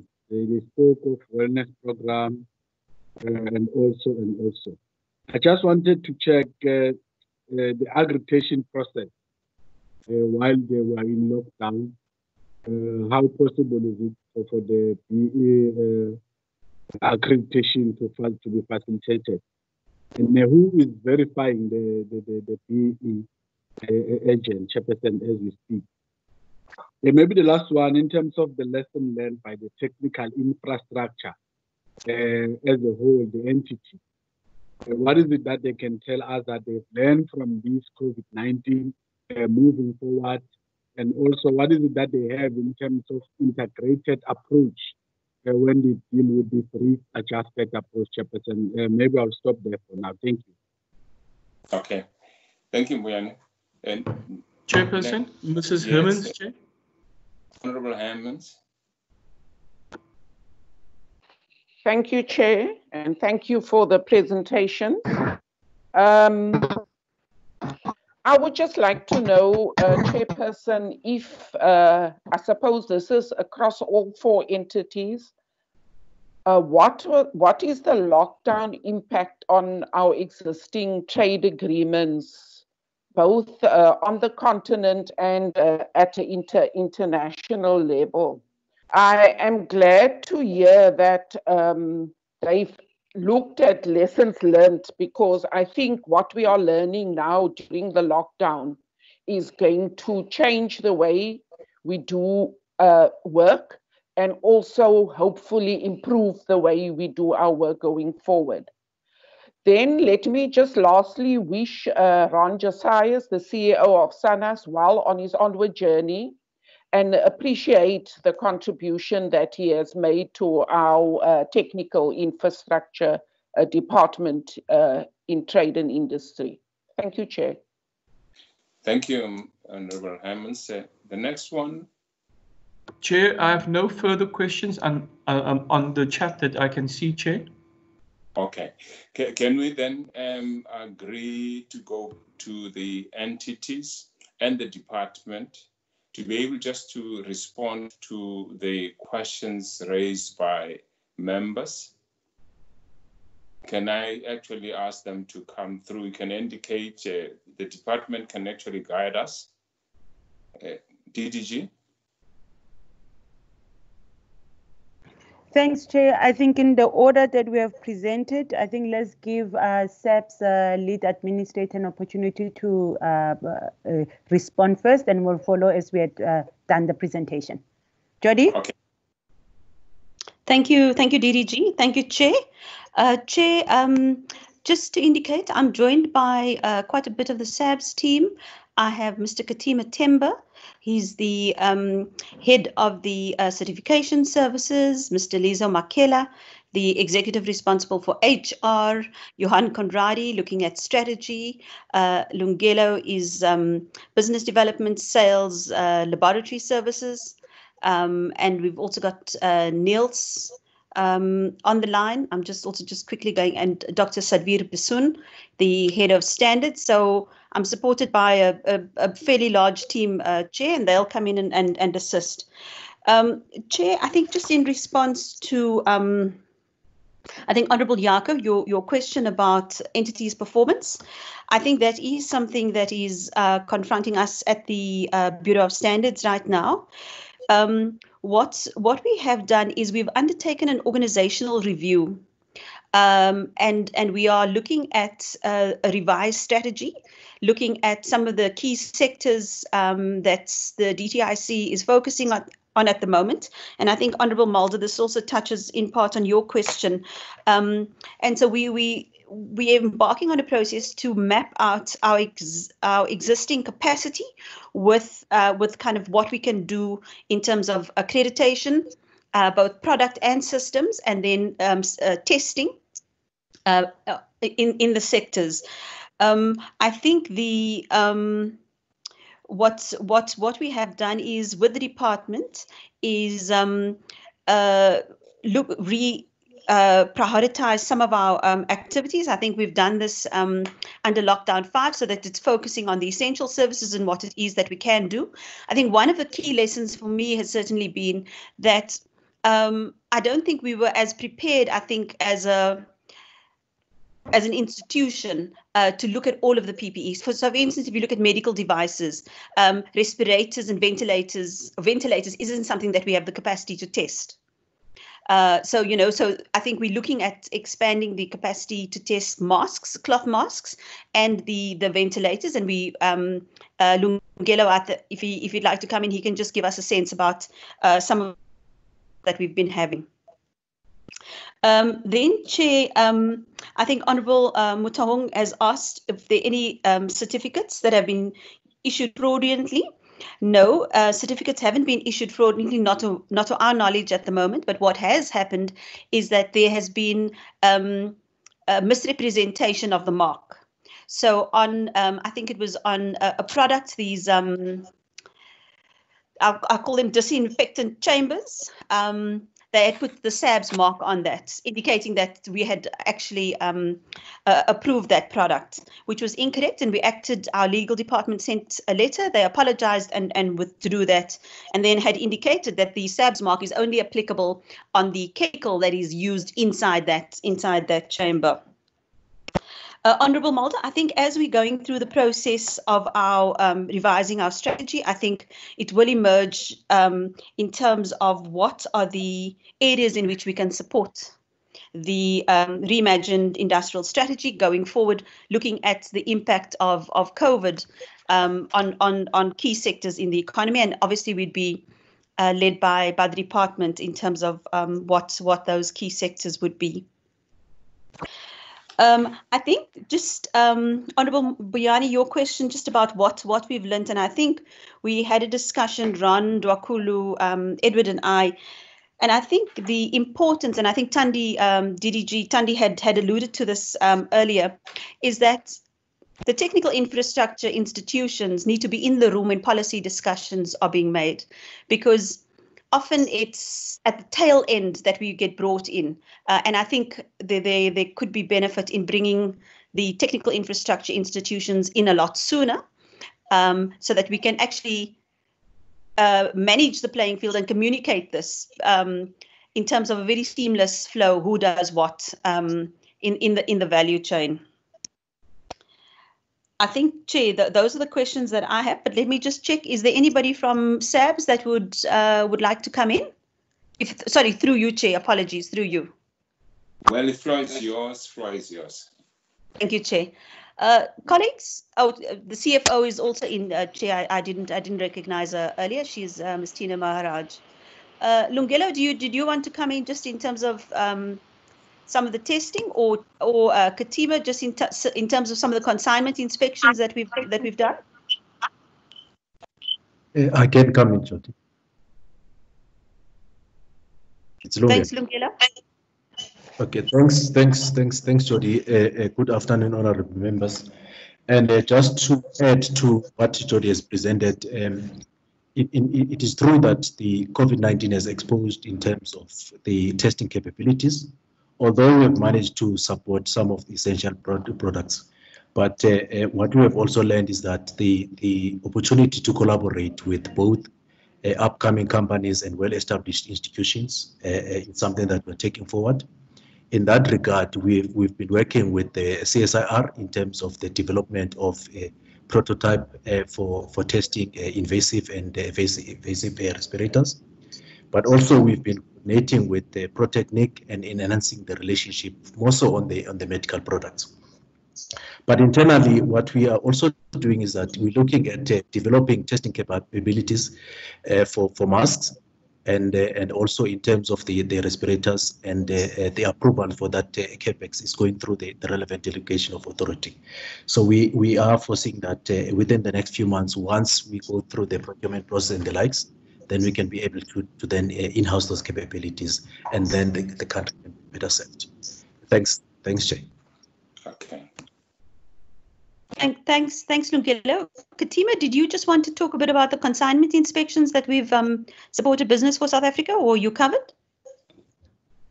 Oh, thank you, uh, thank you, Jodi, uh, and good afternoon, honorable members. Thank you, Chair.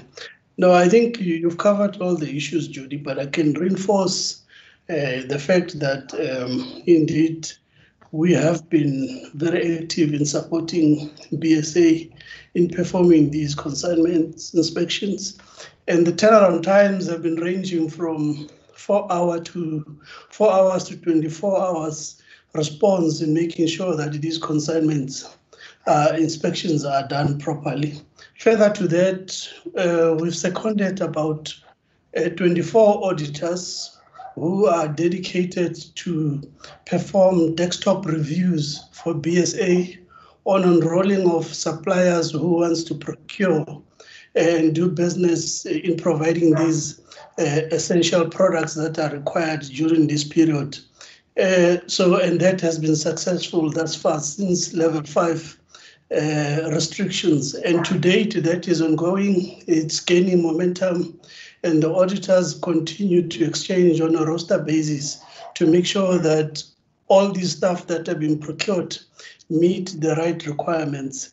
And of course, also to add on the integra integrated approach, uh, yes, indeed, we have been collaborating with other regulators, SAHPRA being one of them, NRCS, of course, uh, our sister entity also we've been collaborating particularly on the inspectorate inspection front in carrying out the work.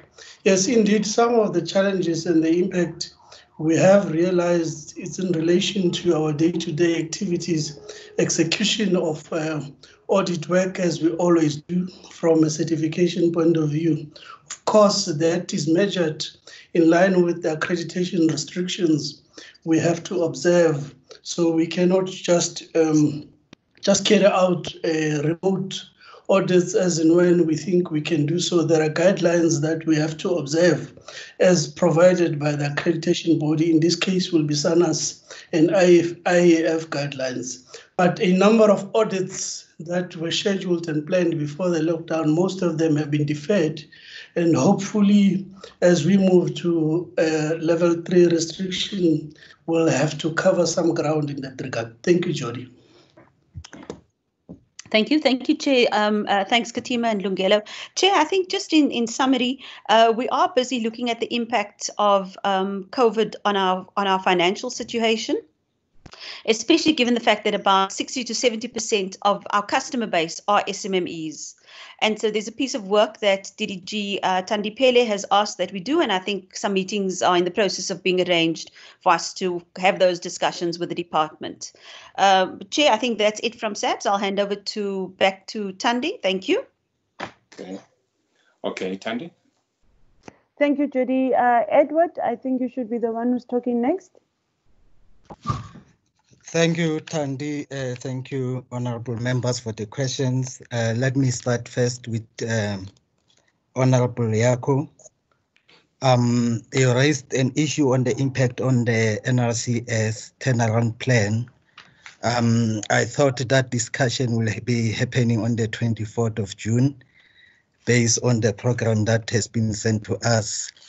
But um, um in a nutshell, in, we have been severely impacted by the pandemic in the implementation of our uh, turnaround plan, especially in the uh, completeness of, of, of revenue.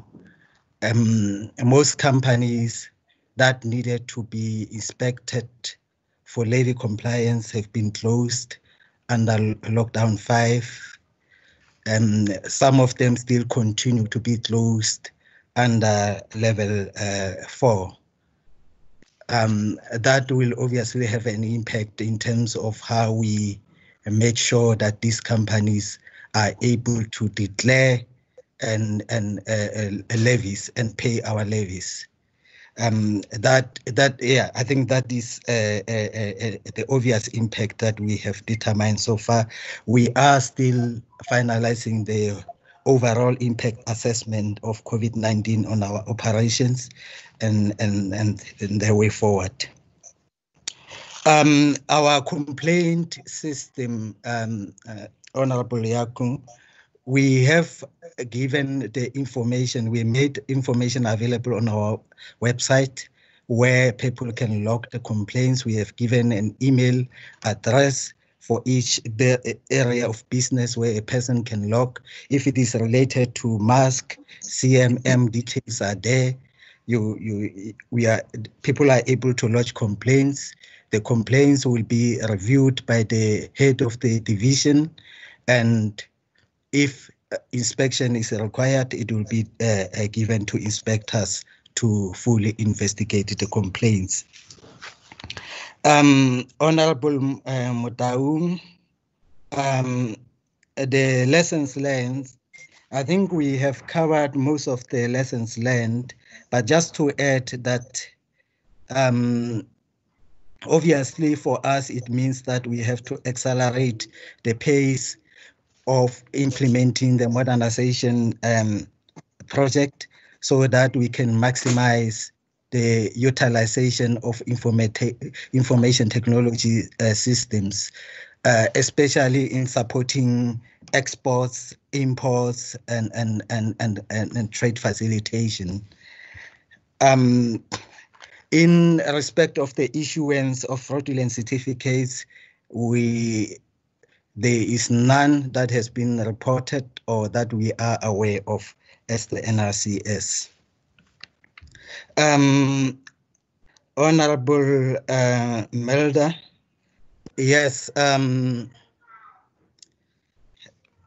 I think I also echo the words of uh, Scholtz, the administrator of SABS, when she said that um, the infrastructure entities have to be involved earlier on in the policy discussion, um, including the reimagine uh, in industrial strategy that the DTIC has implemented under the sixth administration.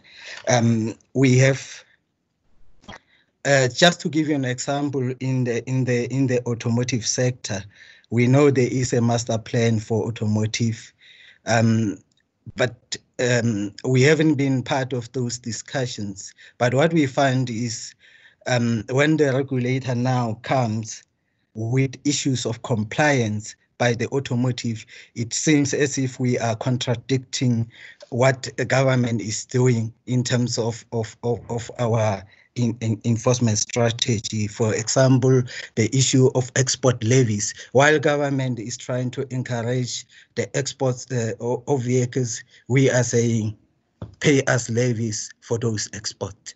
So I think that that it is important. It is important that we get involved at earlier stage when the policy discussions are uh, are being uh, developed. Um, in terms of us being having capacity to support the industrial strategy or imagine industrial strategy, we are capacitated, uh, Chair, and, and we will be able to support government in all the identified areas. Honorable Mbuyane, my apology, I struggled to hear what you were saying. I heard you speaking about import facilitation duty. We, we don't charge any duty for import facilitation. Um, the, the inspections that we do at the post of entry are um, ordinary market surveillance inspections. Um, the person only needs to apply for an LOA, um, which is a pre-approval pre process that an entity that wish to import uh, products that are regulated needs to follow. Other than that, we don't charge any other duties or, or, or import duties. And um, I think the process of the development, I heard you spoke some uh, something about WTO. Um, I assume that you were talking about technical uh, barriers to trade in the context of WTO. We, ju we just want to assure you as in the development of compulsory specification, the process already taking into account that the proposed compulsory specification does not become unnecessary technical uh, uh, technical barrier to, to trade. So that is taken care at an early stage of the development of um, um, compulsory specification. Um, lastly, you ask on the NPO. That's the question. I'm only answering the question that I heard from you. On the NPO, we don't classify uh, the companies that we regulate according to whether they are NPOs, private companies, or, and so forth. Our, our only classification is based on whether a company is um, a levy payer or not a levy payer. That is the only classification that we utilize as the NRCS at this stage. So we won't be able to um, provide information whether we were able to assist any NPOs. Um, I think I have uh, uh, answered all the questions, Chair. Back to uh, Thandi. Thank you, Edward. Thank you, Uh, Edward. for the- um, Ron, I think you are the next one. Thank you very much. Um, and thank you, Chair. I think my question starts from the Honorable Motaung. Um, with regards to issues of lesson, le- lessons learned, um, and it's quite correct, a lot of um, of the lessons learned has already been, been stated by the previous, um, my previous colleagues or my colleagues as such. Um, but principally, I think we, we, we all realize that um, the way of work will never be the same again after the COVID-19. And secondly, we know that our challenge is not the, the big challenge is not what we're facing right now. The big challenge that we're going to face is still coming. The issue of the impact of COVID-19 on organizations, on, on employment, etc. And therefore, um, in my presentation earlier on, I spoke about the importance of reviewing our strategies to accommodate uh, the new environment in which we're going to move and we, which we're going to face going forward. So that's one of the key lessons we've learned in the space of our customers, uh, lessons that we're learning through this particular process as well, is that they are indeed price sensitive, but the role that they pl- play is, is extremely important. And so we need to make uh, and have some interventions um, to support our customers as well to be able to deliver to the broader South Africa, ensuring that our goods and services um, are, are safe and healthy and, and, and, and, and be able um, to facilitate trade across borders and across the world uh, as well. Um, in our space of ITC, I think we spoke a lot about that. Um, one lesson that we've learned is not as scary as we thought, and it's not as difficult as we thought. That's actually the feedback that we get from our customers as well. Things are happening from our feedback. Um, uh, people are actually getting much more comfortable with doing online assessments uh, etc. So um, the things that we feared before is not actually real. That's one of the key lessons we've learned as well through this particular process. Um, and obviously, uh, with regards to our finances as well, um, this link into the question that Honorable Mulder was talking about in terms of the industrial strategy. Um, the ability to move forward going to depend a lot on how we review what we currently have to ensure the sustainability of the organizations as well. Um, currently, we should be able, we are comfortable that we would be able to to to to to realize um, and, and and make a positive contribution to the industrial strategy. Um, but like I said, a lot of the issues gonna uh, we're gonna have to really look. We're gonna have to tighten up uh, a lot on what we currently have before us, as well as come up with new ways. Uh, and, and, add new uh, uh, um, schemes to our, our, our current um, offerings um, to ensure that we can actually deliver on our national priorities. With regards to the question on the on the fraud certificates, as such, um, currently we have not recorded. We do have a hotline. We also have a, a, a direct complaints mechanism uh, in place um, uh, in terms of fraudulent certificates, accreditation certificates. We have not received any during this period um, that, that that has been recorded as such.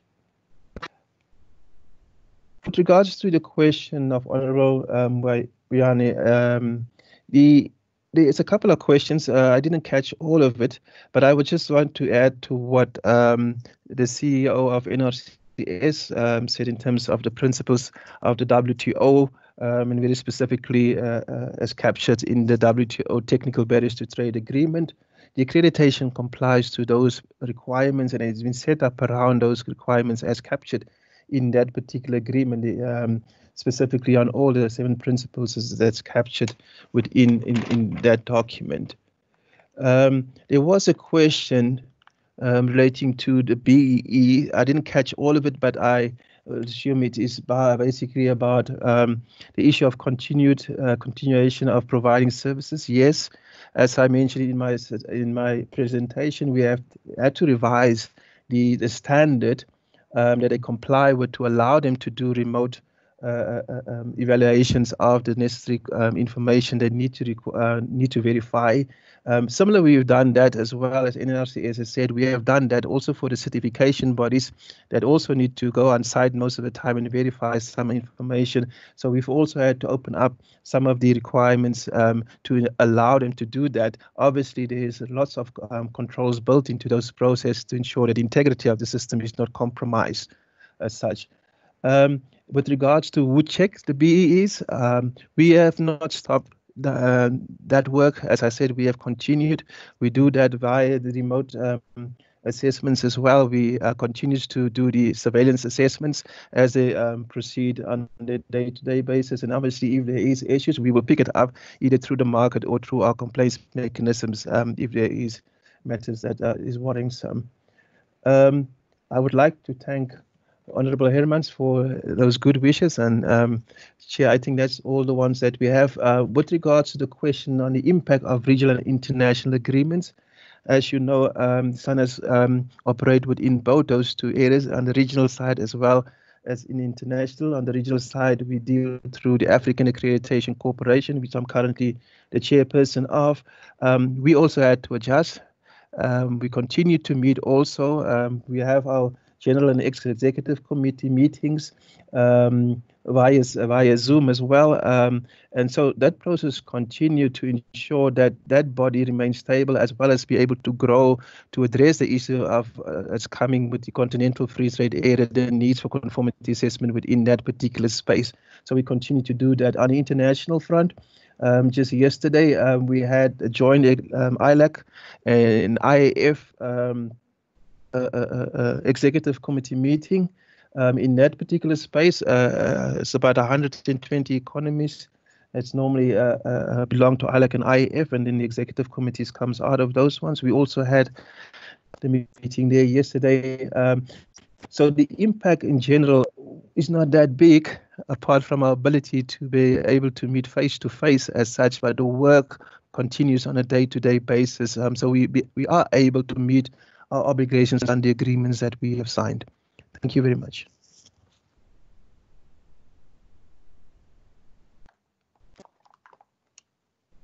Thank you, Ron. Ndwakhulu, can you take uh, us through the last batch of questions? Yes, th thank you, Thandi. Um, thank you, honorable members, for the questions. Um, Chair, I think most of the questions have been answered by the three CEOs. I will restrict myself to um, the one asked by Honorable Motaung um, on the lessons learned. Um, a lot of lessons learned have been highlighted already. The one that I want to highlight is um, the importance of the way we prioritize our focus areas. I think it's it's one of the biggest lessons that we learned.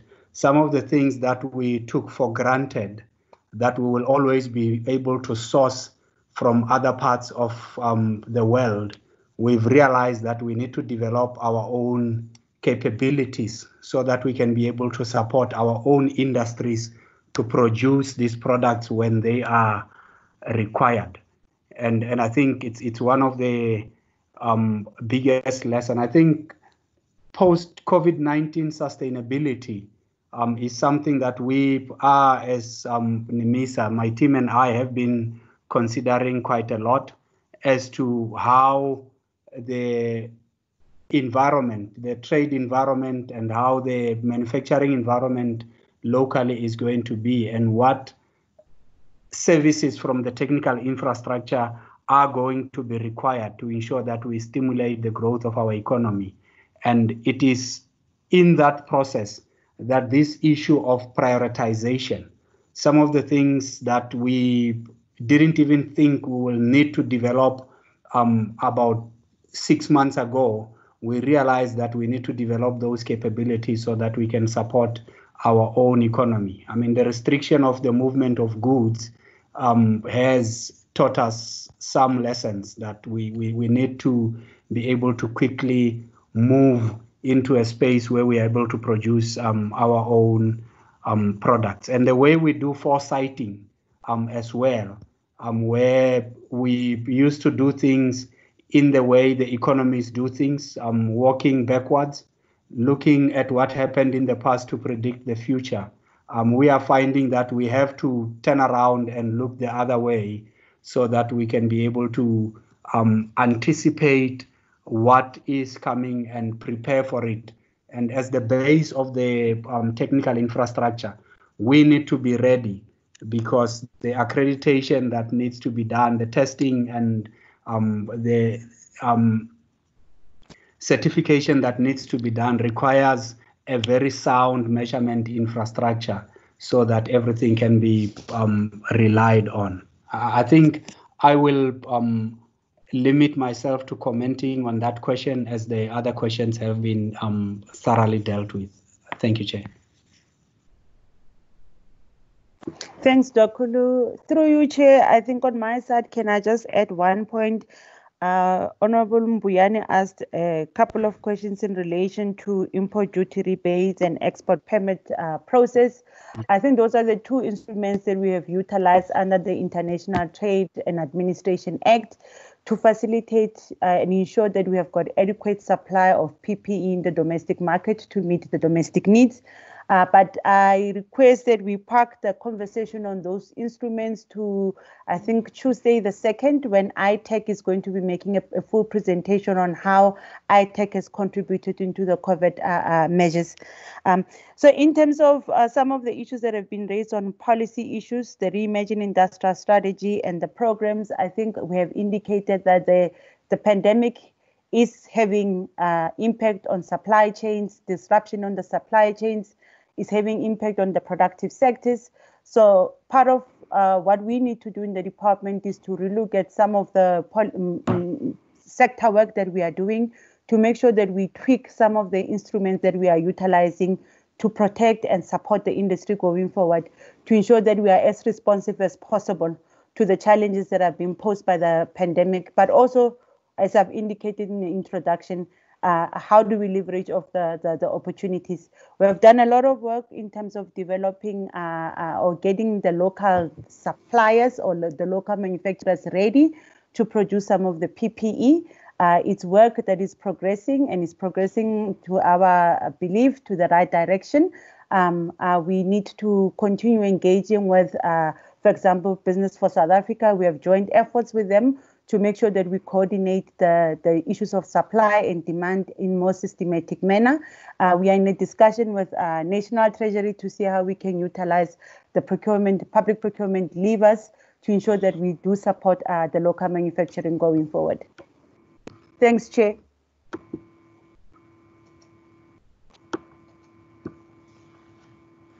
Chair, your mic is not on, Chair. Thank you, DDG. Um, okay, thanks, uh, Andre. Um, it may be actually quite important that we actually uh, follow through just to encourage you on the work you reported upon DDG, because uh, mainly I think it's around the business conform, uh, continuity management are issues which are quite important because we are managing a transition but I think uh, we, we should also look at opportunities in the new environment which we're looking at.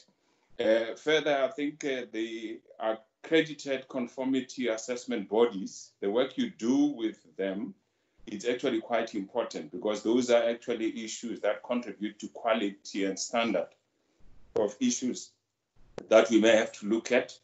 Uh, same as the issue of uh, sustainability value addition, and organizational setup.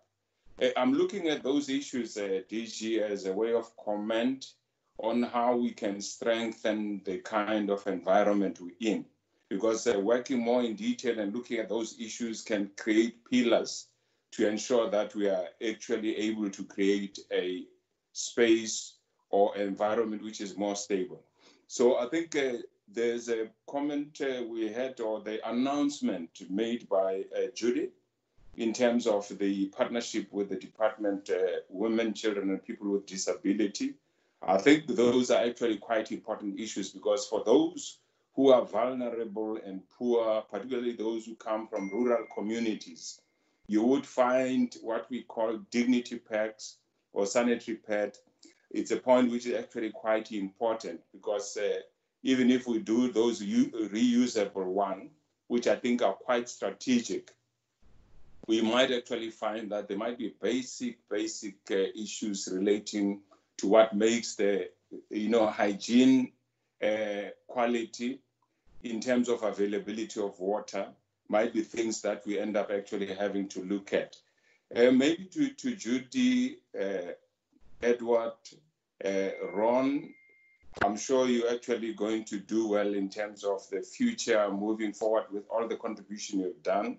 Ndwakhulu, we would actually like to thank you for the, your contribution. I'm sure if ever there are further issues raised by members, we can actually try and pick up on that, uh, Secretariat. So I sure. thought I should actually maybe pick up on those uh, comments uh, before we check if ever there are any further issues we need to pick up. Secretariat? Chair, there's no further indication of any member wishing to ask any further questions, Chair. Okay. So can I just say um, there was a point which was actually raised of the ventilators testing. Uh, I think this uh, it was earlier this morning or uh, yesterday where we had the CEO of Denel. So you might find there may be collaborations which are quite important because Denel was looking at uh, uh, the ventilators, and I'm sure the testing part of uh, the presentation we have received from the institutions. So can actually be something that you may look at collaborations or partnership with some of the departments or entities of government. Uh, so I think the ventilator one was quite interesting and your comment uh, of the part of testing might be a thing which we would encourage that um, we look at the point of how we collaborate and partnership so I think the final point uh, before we proceed, uh, uh, DDG, I'll ask you just to make the closing comments after mine.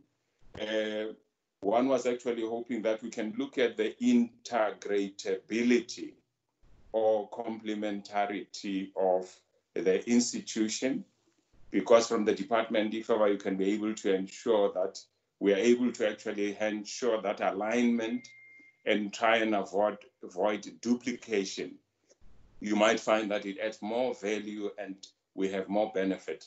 So DDG, I'll ask that you actually take uh, your time to uh, conclude your closing remarks. And uh, one, actually, we hope that uh, then we can pick up from that point and uh, welcome all the presentation done by the entities. So I'm sure I can ask the uh, DDG Phele to speak to us in the closing remarks. Thank you, Chair. I was hoping that my colleague, Dr. Chenge, can have an opportunity to say two words, particularly because he is uh, responsible for coordinating the work of the technical infrastructure. We do have a process in the department where we are meeting regularly with the four entities to ensure that we streamline our programs. Uh, I, I, can I just request uh, for your yes. indul uh, indulgence, uh, Chair, just to give yes. you a few minutes just to say a few things. Chenge?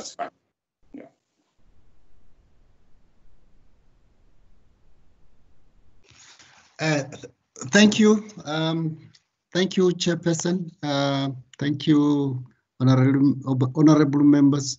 Uh, I, I don't know what I must focus on, but I, I think the point that you raised last, uh, the point to say uh, we should look at um, reducing overlap, uh, I should put it that way. it's something that the, the DG has been also talking about uh, it's something that we want to address um, from the entities first. Uh, so to sit together as entities and see how we can allocate the work better, uh, if I can put it that way, so that we reduce overlap uh, and um, uh, doing the same thing uh, by um, various entities. So we have set up a, a project uh, with a service provider, our own service provider, uh, TIPS, um, and they are looking at all the mandates uh, so that they can ensure that whatever we do going forward is not going to take away from the important work that is being done. It's all, all actually going to add value. So they are doing the necessary benchmark and they will give us a full report with the recommendations. Then we will, we will discuss that. And once we are ready, uh, we'll go back to the DG uh, and, uh, and let the D DG take the process forward. Thank you. Okay, D DG. Uh, uh, thanks, Chairperson, and thank you, uh, uh, Chenge. Uh, I think, Chair, on my side, uh, firstly, to thank uh, the committee for continuous oversight to the entities and guidance on the work that we do. Um, I think being here a couple of times with the entities has really helped us to shape some of the work that we do, uh, both in the department and also in the entities themselves. Uh, in terms of uh, uh, the, the, the, I mean, we are navigating very difficult terrains. I think none of us in the room know how the pandemic is going to pan out, how long it's going to last, uh, and therefore we need to be able to be agile to the responses that we have to provide to the economy and be able to also be responsive to the kind of strategies that we're going to be putting forward, especially as we are talking about post-COVID, because the difficulty is going to be about how do we rebuild the economy going forward. Technical infrastructure institutions have got enormous contribution to make to, to the work of the industrial policy and contributing towards industrial development. And often I believe that the work is not always understood. And I think it's the job that we have to do as the department together with the entities uh, to make the public aware of uh, the kind of service offering, the timing that they need to come to the entities to look for assistance in order to make sure that uh, we are able to be as responsive as possible. Uh, the pandemic itself, as I've indicated, has also bubbled up new opportunities. I think uh, uh, six months ago, nobody thought about making fabric masks, for example. Today, making fabric masks is the most important thing that every, almost every clothing and textiles, uh, every auntie somewhere in the township with a sewing machine is looking for opportunities of actually producing this. So there's uh, enormous opportunities that are also being brought by the by the pandemic, which I think we should be coordinating a response much more strategically and and and and and, and transformatively to ensure that we are able to be as uh, as coordinated and as responsive as possible. Uh, so thank you, Chair, uh, for the guidance, and uh, we we always uh, it's always a pleasure to be at the committee to share the work we do as the department and our entities. So with, with that conclusion from uh, our DDG, can we actually then um, agree that the department and the uh, technical infrastructure institutions that were before us, uh, mm-hmm. thanking them for this uh, interaction. We, we actually will release you then DDG and entities. And for the portfolio committee, we will then actually um, move to the next item on the agenda, which has to do with the final consideration by the committee uh, of the budget vote report. I think that's the one we're looking at, Secretariat. Uh, that's correct, that's correct, Chairperson. I'll, um, you have tabled it now before the committee for consideration. I'll just ask Margot to put it up and that members can see how we incorporated the inclusions and recommendations into the report. Um, it's now just for members for, for, for the committee to move the adoption of the agenda, of the report. Chair. Okay, so let's go down to the conclusions. The conclusions. Chair, you, you will see now after after our engagement on on Tuesday, we've incorporated the the conclusions as agreed to by the committee, It is exactly as the committee agreed to in principle. Now it is just the formal process that we need to undertake of adopting the report, Chair. Okay. Let me actually then ask the uh, honorable members to say um, uh, from the side of the Secretariat, there wasn't any addition or new issues raised by members between Tuesday and today. So I think uh, one yeah. one just to say the conclusions are the same as we actually uh, uh, raised them. And can I ask the members of the committee to indicate um, the adoption uh, of the report before us? Formal Chair. consideration. Yes, Secretariat. We have Mr. Mbuyane's hand raised, Chair. Uh, Honor, Honorable Mbuyani. President, thank you very much. I rise uh, for the adoption of this report, Chairperson. Okay, there's a Chair, move we have for Mrs. the adoption. Hermans? Can we check there? Is there any other hand? Mrs. Hermans, Chair. Okay. Chair, yes. I wish to second that uh, proposal to adopt the report. Thank you. That's uh, actually uh, Herman seconding. Chair, Mr. Mr. Mulder wants to raise a, a, a point, Chair. Okay, uh, Honorable Mulder. Uh, Chair, can you hear me? Yes, yes, I can hear you. Chair, thank you. Um, as indicated in, in the previous meetings, uh, the Freedom Front Plus is current principle, nothing against the report apart from the the portion in 5.10. Yeah. Um, so for that reason, unfortunately, the Freedom Front Plus won't be able to to support the report. Thank you, Chair. Okay, because we did actually indicate um, uh, uh, Secretariat Chair? in the in the last meeting uh, on how we capture that. Yes, uh, yes. Thank you, Honorable Mulder, Secretariat. In the minutes. Yes, yes. Uh, Honorable Mulder, thank you very much. That's noted. Will be on the minutes. Can I check if ever there are any further comments on the adopted report before us?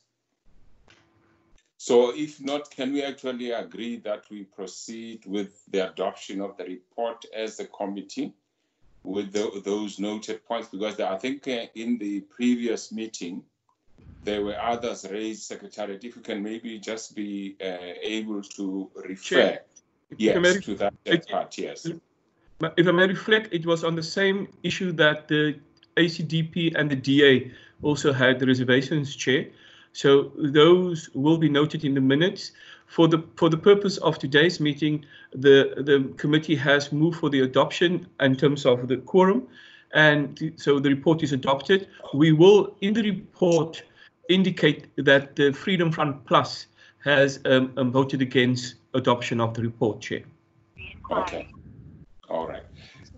Can, can we then proceed? I'm sure this is actually uh, the last item on the agenda. Yeah. And there, there won't be any administrative issues, Secretariat, that you have or Chair, announcement? Chair, just the announcement is that next Tuesday's meeting will be, we will have ITAC before us, and we will also look at the fourth quarter uh, non-financial and non-financial report um, um, performance of DTI and EDD. So that is scheduled for next Tuesday, Chairperson. So, so, and then that's the only meeting scheduled for, for next week. Chair, also to indicate yeah. that Mr. Madima will be responsible for that particular meeting next week, Chair. He will be hosting that meeting. So all communication with respect to that meeting will come from Mr. Madima. So members must just make sure that Mr. Madima will forward those communications to members. So the agenda will be the presentation by ITAC. That's correct. DTI and EDD fourth quarter reports. That's correct, Chair. Okay. Can I then actually... Chair? Uh, Chair, Mr. Hermans? Hermans?